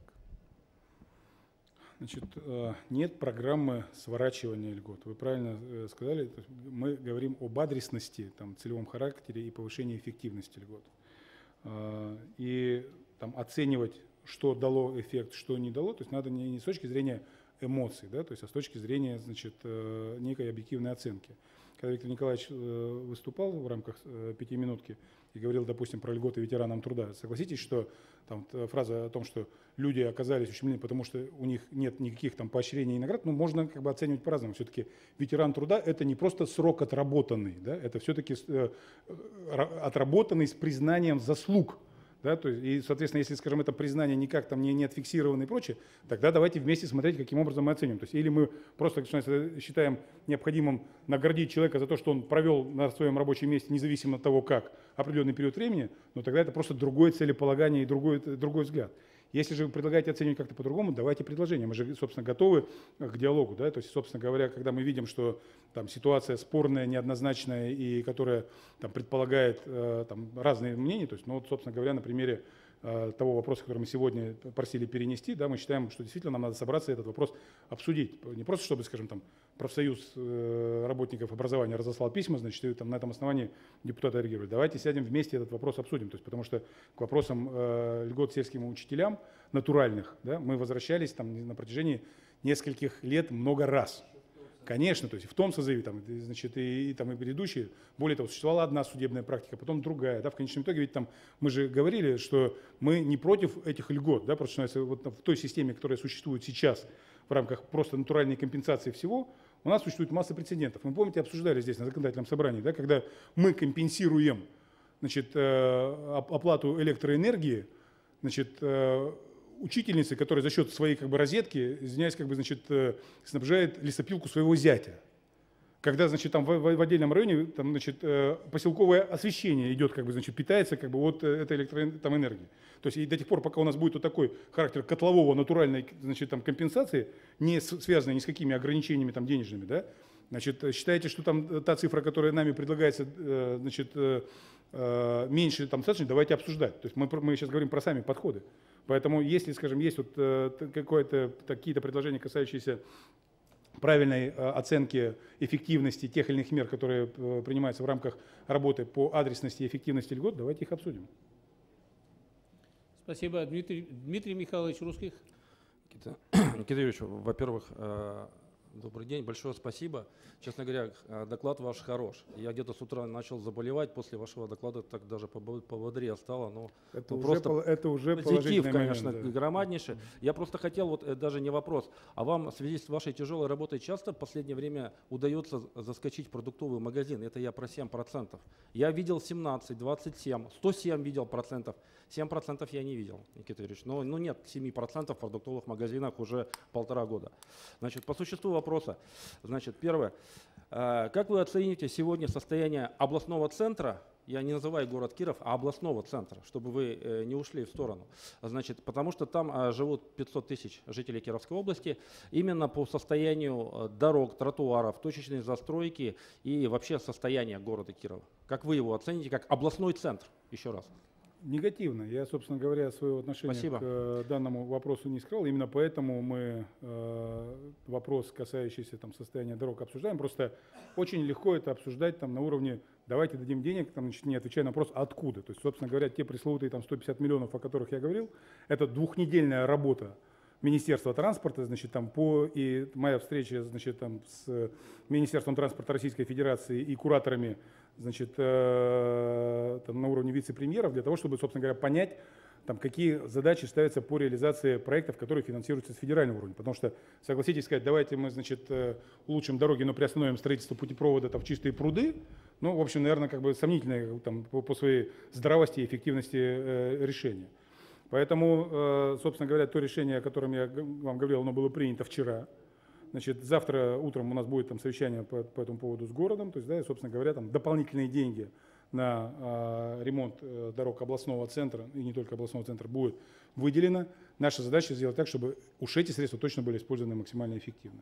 Кроме того, э, тоже не будет, наверное, большим секретом, поскольку ряд здесь сидящих людей сегодня там э, будут присутствовать. Мы встречаемся сегодня, в том числе с предпринимательским сообществом э, областного центра и- и области в целом, для того, чтобы совместно обсудить э, о том, какие проекты нам необходимы для улучшения просто внешнего вида нашего города, потому что просто ориентироваться на средства бюджета, неважно города как бы, или области, там, к сожалению, в настоящее время невозможно.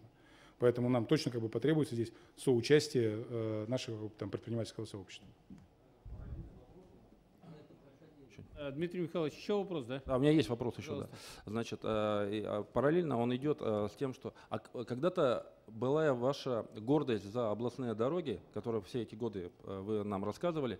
Вот и из вашего выступления я не очень понял. а Сегодняшнее состояние дорог областных, я уже говорю, это все-таки природа виновата или качество выполняемых работ тех организаций, которые этим занимались? Вот потому что в сегодняшнем докладе я, бы, я понял, что погода виновата все-таки. У меня Знаете, вопрос, кто все-таки виноват?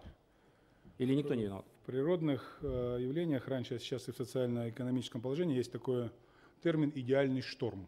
Там сочетание э, нескольких факторов, каждый из которых, может быть, в отдельности не принесло бы какого-то разрушительного результата, но их совпадение, а, к сожалению, там такой результат э, принесет. Помимо погодных условий, которые там, безусловно имели свое место, и вы прекрасно помните, каким у нас была осень и начало зимы э, 2015 года, когда переходы через ноль у нас э, там происходили по нескольку раз на неделе.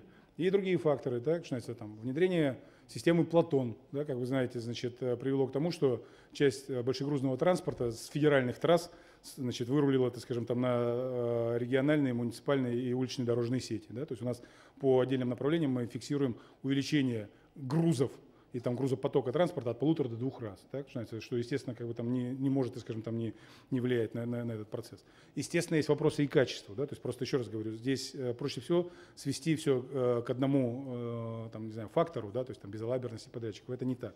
То есть я все-таки считаю, что речь идет о совокупности неблагоприятных факторов, которые сложились, но наша задача на сегодняшний день эти факторы э, нивелировать и, собственно говоря, работы необходимые произвести. Все, два вопроса, Дмитрий Михайлович.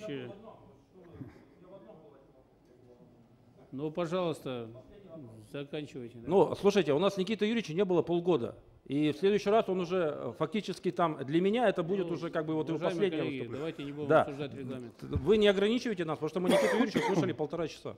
Значит, последний вопрос, Никита Юрьевич. Я на самом деле э, вас, э, ваши доклады уже слушаю шестой, седьмой год, и впервые за эти годы я не услышал э, вашу очень любимую э, тему э, гражданское общество, свобода слова, свобода СМИ. То вот как раз у меня вопрос в этом направлении. Значит, мое есть ощущение, что как бы Гражданское общество, на самом деле, несмотря ни на что, в нашей, к сожалению или к радости, в обществе еще существует в Кировской области и в городе Кирове. И вот как раз мы последнее время не слышим э, какую-то вашу позицию, хотя гражданское общество к вам обращается. Это касается, во-первых, Парка Победы, Дворец, э, Дворец пионеров «Мемориал», когда мы сегодня видим ту ситуацию, когда подойдешь к, э, этому месту, не поймешь, вроде и на спортзал похож, а вроде и на торговый центр по конструкции похожи. Значит, э, дальше мы с вами очень много обсуждали именно позицию гражданского общества, то, что вы сегодня сказали в своем докладе по космическому центру, и мы вас убеждали и предлагали все-таки его там не строить и перевести во дворец пионеров мемориал и занять там площади. И сегодня те люди, которые проходят, сегодня все ощущают, что если мы решили потратить 400 миллионов рублей, то надо было его не засовывать в историческую часть и испортить не только внешний вид исторической части, э, но в то же время и этого проекта, потому что он требует совершенно другого подхода. Это была активность гражданского общества, которое к вам обращалось, и, вас, и вы их не услышали. Сегодня такая же ситуация происходит с колесом обозрения, где тоже гражданское общество и люди активные говорят, что мы будем рады, если вы нам такой подарок сделаете, но есть другое место, Александровский сад или другие парки, но не делайте это на площади. То у меня вопрос очень простой. Э, Вы в нас, э, мы вас потеряли или вы в нас разочаровались? Мы это в данном случае вы себя отождествляете Я тоже считаю себя обществом. человеком активной гражданской позиции. Если вы, мы так не считаете, э, ну Михаил как бы вы- это уже вы, другая Безусловно, проблема. таковым являетесь, просто всегда очень э, сложное ощущение возникает, когда отдельный индивидуум делает заявление от имени гражданского общества в целом. Я прекрасно понимаю вашу гражданскую позицию и э, со многими ее проявлениями согласен.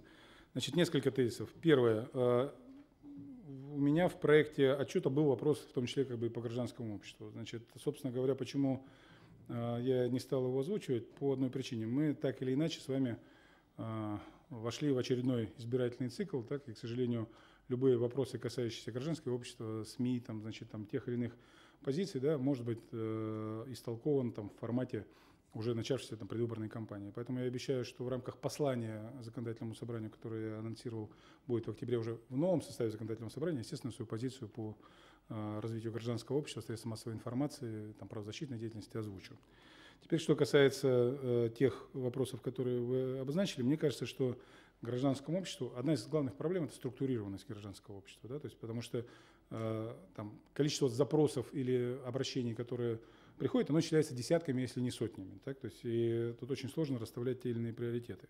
Мне кажется, что очень важно гражданскому обществу самому определиться с э, неким э, собственным регламентом, да, потому что э, сложно э, там, обратить, обратить, обратившись в суд, в прокуратуру, значит, там, и во все другие официальные инстанции, значит, просить одновременно и озвучить официальное действующее лицо. Я, к сожалению, прекрасно понимаю, что моя позиция, которая будет озвучена, и очень сложно будет выделить просто в качестве приватного мнения отдельного гражданина по фамилии Белых, то есть от позиции высшего должностного лица. Так? То есть я не могу озвучивать э, свою позицию по тем или иным вопросам, э, которые рассматриваются либо прокуратурой, либо в суде, то есть либо еще как-то, потому что это может быть воспринято как некое воздействие или значит, попытка повлиять на позицию соответствующих структур, к которым уже обратились. К тем темам, которые еще, скажем, там не вышли на а, формат вот таких, что называется, значит, э, официальных площадок, которые должны предоставить соответствующие комментарии, я готов комментарии давать свои как там, гражданин, как человек. Что касается тех примеров, которые вы озвучивали, ну, вот здесь гражданское общество и экспертные группы, то есть это такие иногда получается противоборствующие структуры, потому что, как вы понимаете, мне, да, как э, руководителю региона, собственно говоря, где будет строиться там космический центр, да, то есть, ну, там принципиальной разницы, значит, не было. Но именно экспертное сообщество, да, то есть в том числе с участием, значит, э, э, там наших уважаемых космонавтов, там, да, значит, людей, которые то есть, значит, высказали за то, что вот этот э, проект должен быть реализован именно там. То есть я там не считаю значит, возможным ставить под сомнение профессиональные экспертные мнения этих людей. Более того, что там, мы вчера проводили рабочее совещание на площадке этого э, строящегося детского космического центра, я могу сказать, что по моим ощущениям это будет очень хороший полноценный объект, ничуть там не э, ухудшающий вид нашего города и его э, исторического центра. Еще раз говорю, в данном случае вы там говорите свое частное мнение, я могу говорить свое частное мнение, да, то есть или мы доверяем в данном случае экспертам, или мы, скажем так, выходим э, на площадки судов и там прокуратуры и других надзорных органов. Два варианта. Мы это кто, Дмитрий Николаевич? Вы там вот вас, я вас не потерял. Вы даже знаете, что мы с вами сегодня встречаемся приватно, правильно? То есть вот это же как раз является примером того, что как мы с вами ни- никуда не терялись. Нет, секундочку. Вы знаете, что у нас с вами сегодня встреча назначена? Ну все. Вот это ответ на наш вопрос. Спасибо, уважаемые депутаты. Спасибо, Никита Юрьевич, за объемный и позитивный доклад по всем направлениям, по основным направлениям развития Кировской области и ответы, конечно же, на вопросы э, депутатов. Уважаемые коллеги, переходим к выступлениям. Записались, э, значит, от фракции ЛДПР Дубравин Николай Григорьевич. Пожалуйста.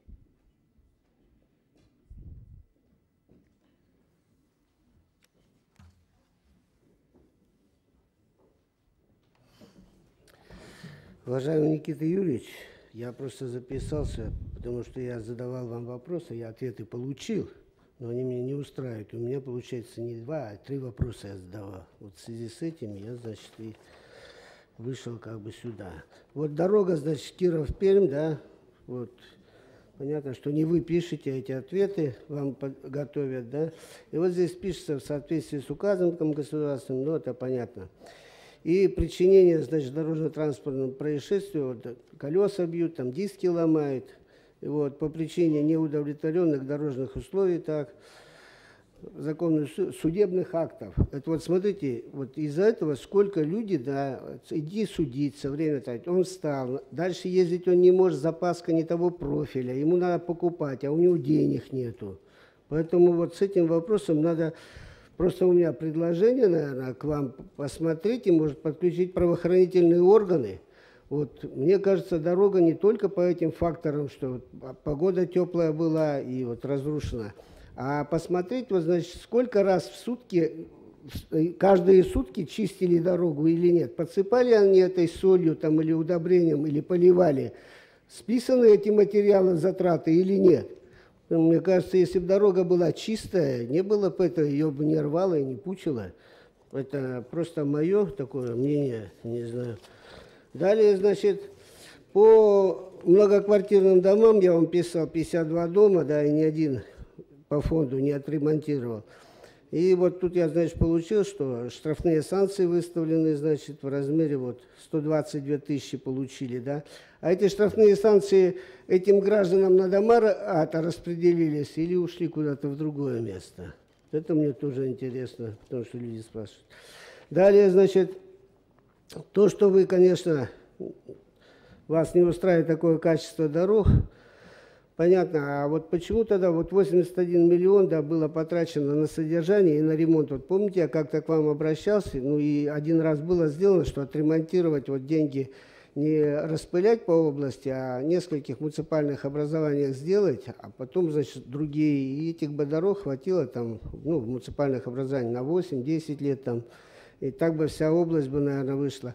А вот получается, что вот в Слободском 81 миллион было на содержание, на ремонт потрачено вот с 2013 по 2015 годы, да?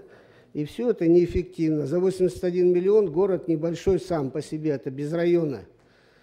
Там дорог-то это 81 миллион на километр дороги, если идет, это 81 миллион дорог можно сделать. Я не понял, нет ни дорог, ничего нету. И в то же время никто за это ответственность не понес. Вот говорят, с- вас говорим, да, вот где деньги деваются, где их брать, там бюджет дефицитный, да. А вот ответ ссылается, что согласно 131 закону не можете вмешиваться а, в деятельность муниципального образования. Так деньги, значит, даете, а вмешиваться потребовать не можете. Как вот это вот мне непонятно, Никита Юрьевич. И, значит, то, что вот было, значит, сказано, значит, аварийное жилье вы говорили, да?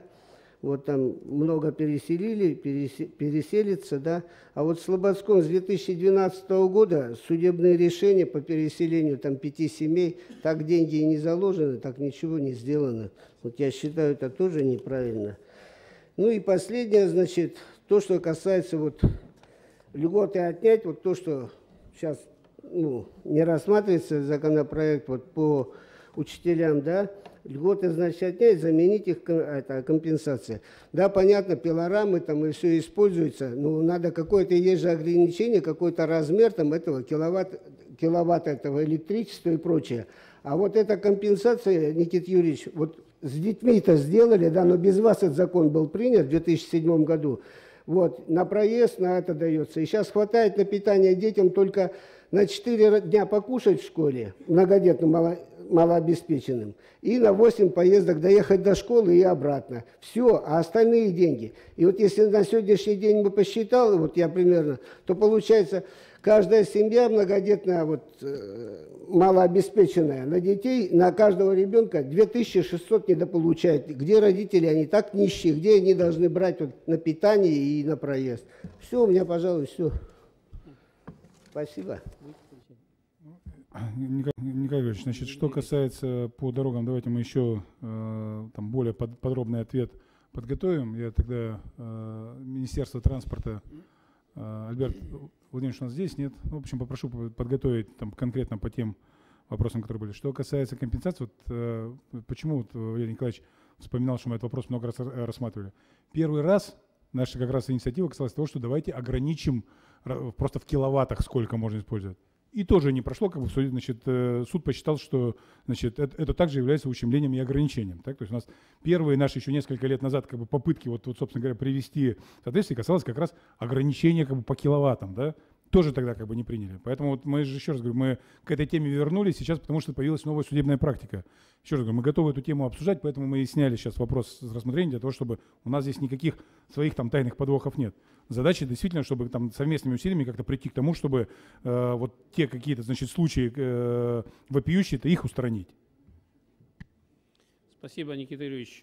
Слово предоставляется Осетрову Владимиру Ивановичу от фракции КПРФ.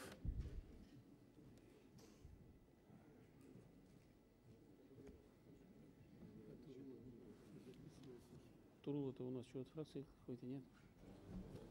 Никита Юрьевич, обозвал меня безграмотным депутатом. А это так и, так и есть, видимо. Значит, вы и народу, видимо, так же говорите. Постоянно. Вы же их обманываете. Вот надо пройти ликбез. Кому, вот сейчас уже появляются ваши книжечки. Что я сделал, что там сотворил. А что вот вы сотворили? Если посмотреть на наш регион – с позиции бюджетной состоятельности, способности зарабатывать деньги и обеспечивать решение социальных проблем, то власть, территория и граждане движутся в сторону банкротства. С марта текущего года в учреждениях культуры Налинского района, сельских домах культуры и библиотеках отключена за неуплату электроэнергия.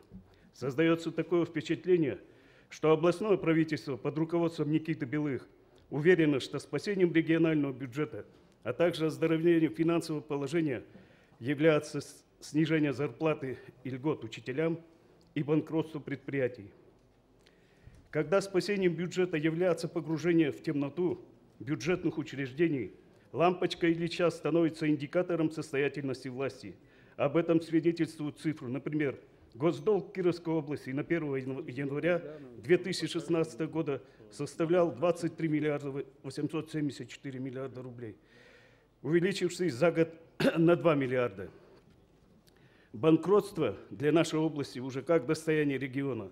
С 1 января 2009 года по 1 января 2016 года процедуру, процедуру банкротства в регионе прошли 2217 юридических лиц, из которых 1181 разного рода предприятия, 336 индивидуально предпринимателей – что самое печальное, ни одна из процедур банкротства не закончилась в этот период финансовым оздоровлением предприятий. Картина тем более неприглядна, поскольку среди тысяч других 184 сельскохозяйственные предприятия. Только за 6 лет из оборота в области выведено, это за, ваш, за ваше время правления, 326,4 тысячи гектаров сельхозугодий том числе 258 и 1 тысяча гектаров пашни. численность работающих в сельском хозяйстве сократилась на 14 тысяч и 9 тысяч и 9 десятых тысяч человек. Вывод земли из оборота и сокращение работающих – результат банкротства организаций. История с, агрохолд- с агрохолдингом «Альпари» – классический пример того, как можно обогатиться на кредитах. Набрав кредитов на, на многомиллиардные суммы, собственник предприятий объявил их банкротами. В результате легко ушел от ответственности. На его совести 12 крупных сельскохозяйственных предприятий, сельхозпредприятий области, одни из которых до основания уничтожены, другие находятся сегодня в стадии банкротства. О патриотизме.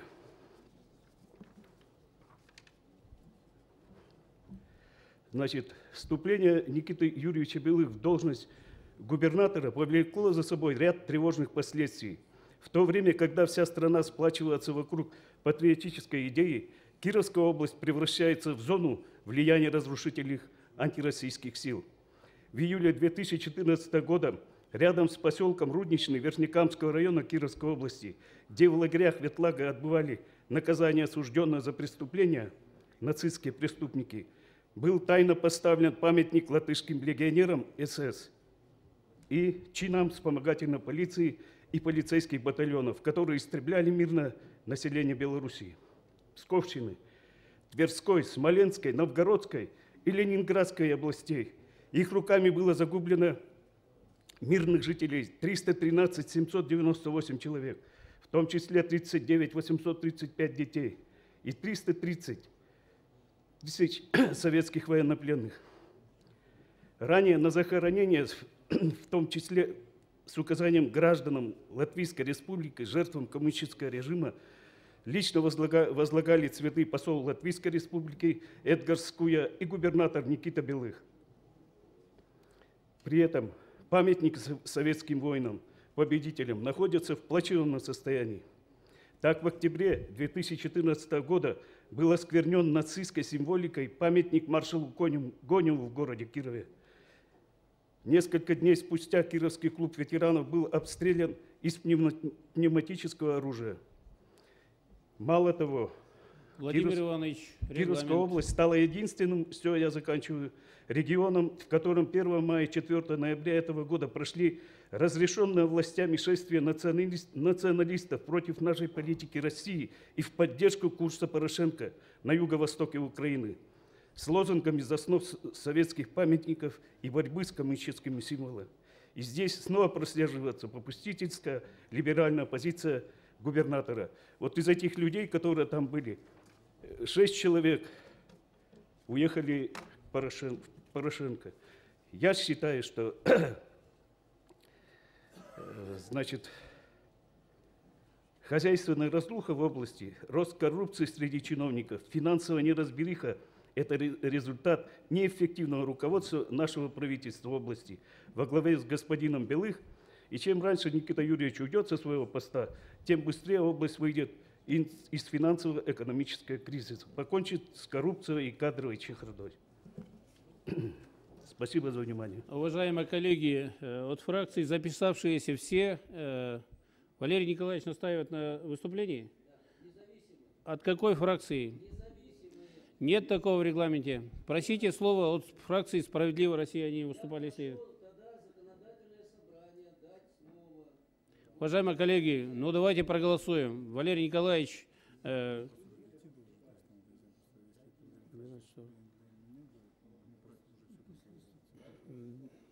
время перерыва. Я, я просто извиняюсь, Владимир Николаевич, я, я просто должен уже э, там, э, меня там Время жд- 12 жд- ждут часов. люди, как говорится. То есть, если вы это э, выступление хотите мне адресовать, то лучше, может быть, просто с вами отдельно как-то встретимся. Если законодательному собранию, тогда я пойду. Мне хотелось как раз, чтобы это публично прозвучало, оценка определенная. На мой взгляд, это носит конструктивный характер. Ну, давайте, если там пять минут, то есть там хорошо. Пять минут, э, Валерий Николаевич. Нарушая регламент законодательного собрания, мы вам предоставляем слово. Нарушаем регламент. В конечном счете это не рядовое мероприятие, когда мы подводим итог работы правительства за прошедший год. И в данном отношении к этому надо относиться достаточно серьезно, прежде всего перед жителями нашей области. А так вы- выводить какие-то формальные основы, это, наверное, не совсем правильно. Я несколько аспектов хотел бы обозначить. Я не случайно задал вопросы, Никита Юрьевич, э, связанные с увеличением налогооблагаемой базы. И мы для этого вложили очень большие деньги, когда ставили один из приоритетов развития зоны эм, э, эффективного экономического развития. Это промпарки. И в данном отношении мое абсолютное убеждение, учитывая, что мы опять несколько раз слушали эту тему, вложили мы туда сотни миллионов рублей, но на сегодняшний день эффективной деятельности промпарков нету. И вот этот вопрос очень остро стоит на сегодняшний день, что необходимо поднять эффективность управления вот этим, на мой взгляд, налогооблагаемым элементом, который может увеличить налогооблагаемую базу, развитие предпринимательства и развитие э, соответствующих предприятий. Второй элемент, который также является э, основой для налогообложения, это малый бизнес.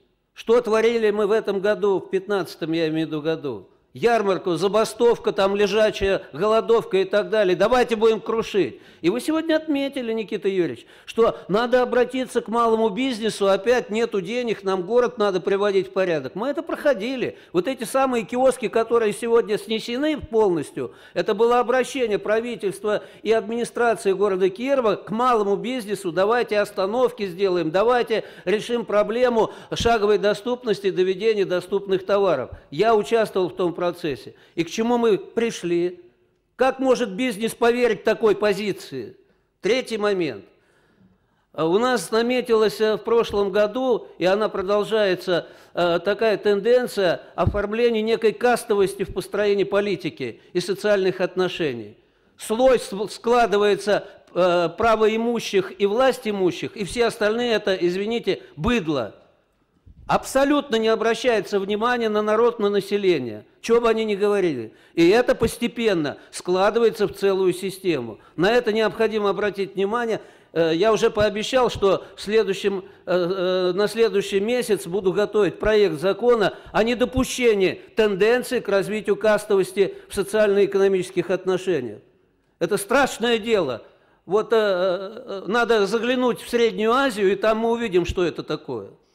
Следующий момент. У нас проявляется очень четко и жестко, частично сказал вот депутат Осетров, но у нас становится системой политической власти нашей, э, система обмана и формирования ложных ожиданий у людей. Нельзя этого допускать. Необходимо обеспечить честный подход правительства э, к нашему населению. Я могу вам массу привести примеров, когда просто отмахиваются и делаются отписки, и в соответствии с этим, э, в общем-то, э, сквозит абсолютный обман. И последнее. На мой взгляд, вот сегодня шел отчет правительства перед депутатами, но отчитываться вы могли бы и не перед нами, и вообще не отчитываться, потому что прошедший год показал, что ни во что не ставится депутатский корпус. Вместо конструктивной работы на сегодняшний день просто все делается для того, чтобы депутаты со своими конструктивными предложениями были отметены, и им говорится, а у нас другое мнение, другая позиция. Откуда это взялось, я не знаю, но именно в прошлом году начала проповедоваться именно эта идеология, что у депутатов своя позиция, а у нас своя позиция. Нонсенс. Мы должны разобраться с этим вопросом и не допускать, абсолютно искоренять подобный подход. И, к сожалению, в этом способствует в 2015 году э, господин Ивонин, депутат уважаемый, который на вас в свое время доносы писал, да, а сейчас лизоблюдством занимается перед органами власти. Недопустимые вещи. Необходимо принципиально работать в этом отношении. А здесь вроде бы союзник нашелся. Поэтому я считаю, я не буду ставить оценку правительству, но вот эти недостатки в конструктивном плане необходимо решать. Спасибо. Уважаемые коллеги, э, по данному вопросу предлагается принять следующее постановление. В целях реализации статей 42 и 55 Устава Кировской области, заслушав и обсудив отчет губернатора, председателя правительства Кировской области о результатах деятельности правительства Кировской области – за 2015 год Законодательное собрание Кировской области постановляет первый отчет о результатах деятельности правительства Кировской области за 2015 год принять к сведению. Второе. Поручить аппарату Законодательного собрания Кировской области обобщить предложения, высказанные депутатами в ходе обсуждения отчета губернатора и председателя правительства Кировской области о результатах деятельности правительства Кировской области за 2015 год и в срок до 6 мая 2016 года направить их губернатору, председателю правительства Кировской области, во фракции и комитеты законодательного собрания. Третье. Направить настоящее постановление губернатору, председателю правительства Кировской области. Четвертое. Настоящее постановление вступает в силу со дня его принятия. Ставлю на голосование вопрос о принятии данного постановления. Прошу голосовать.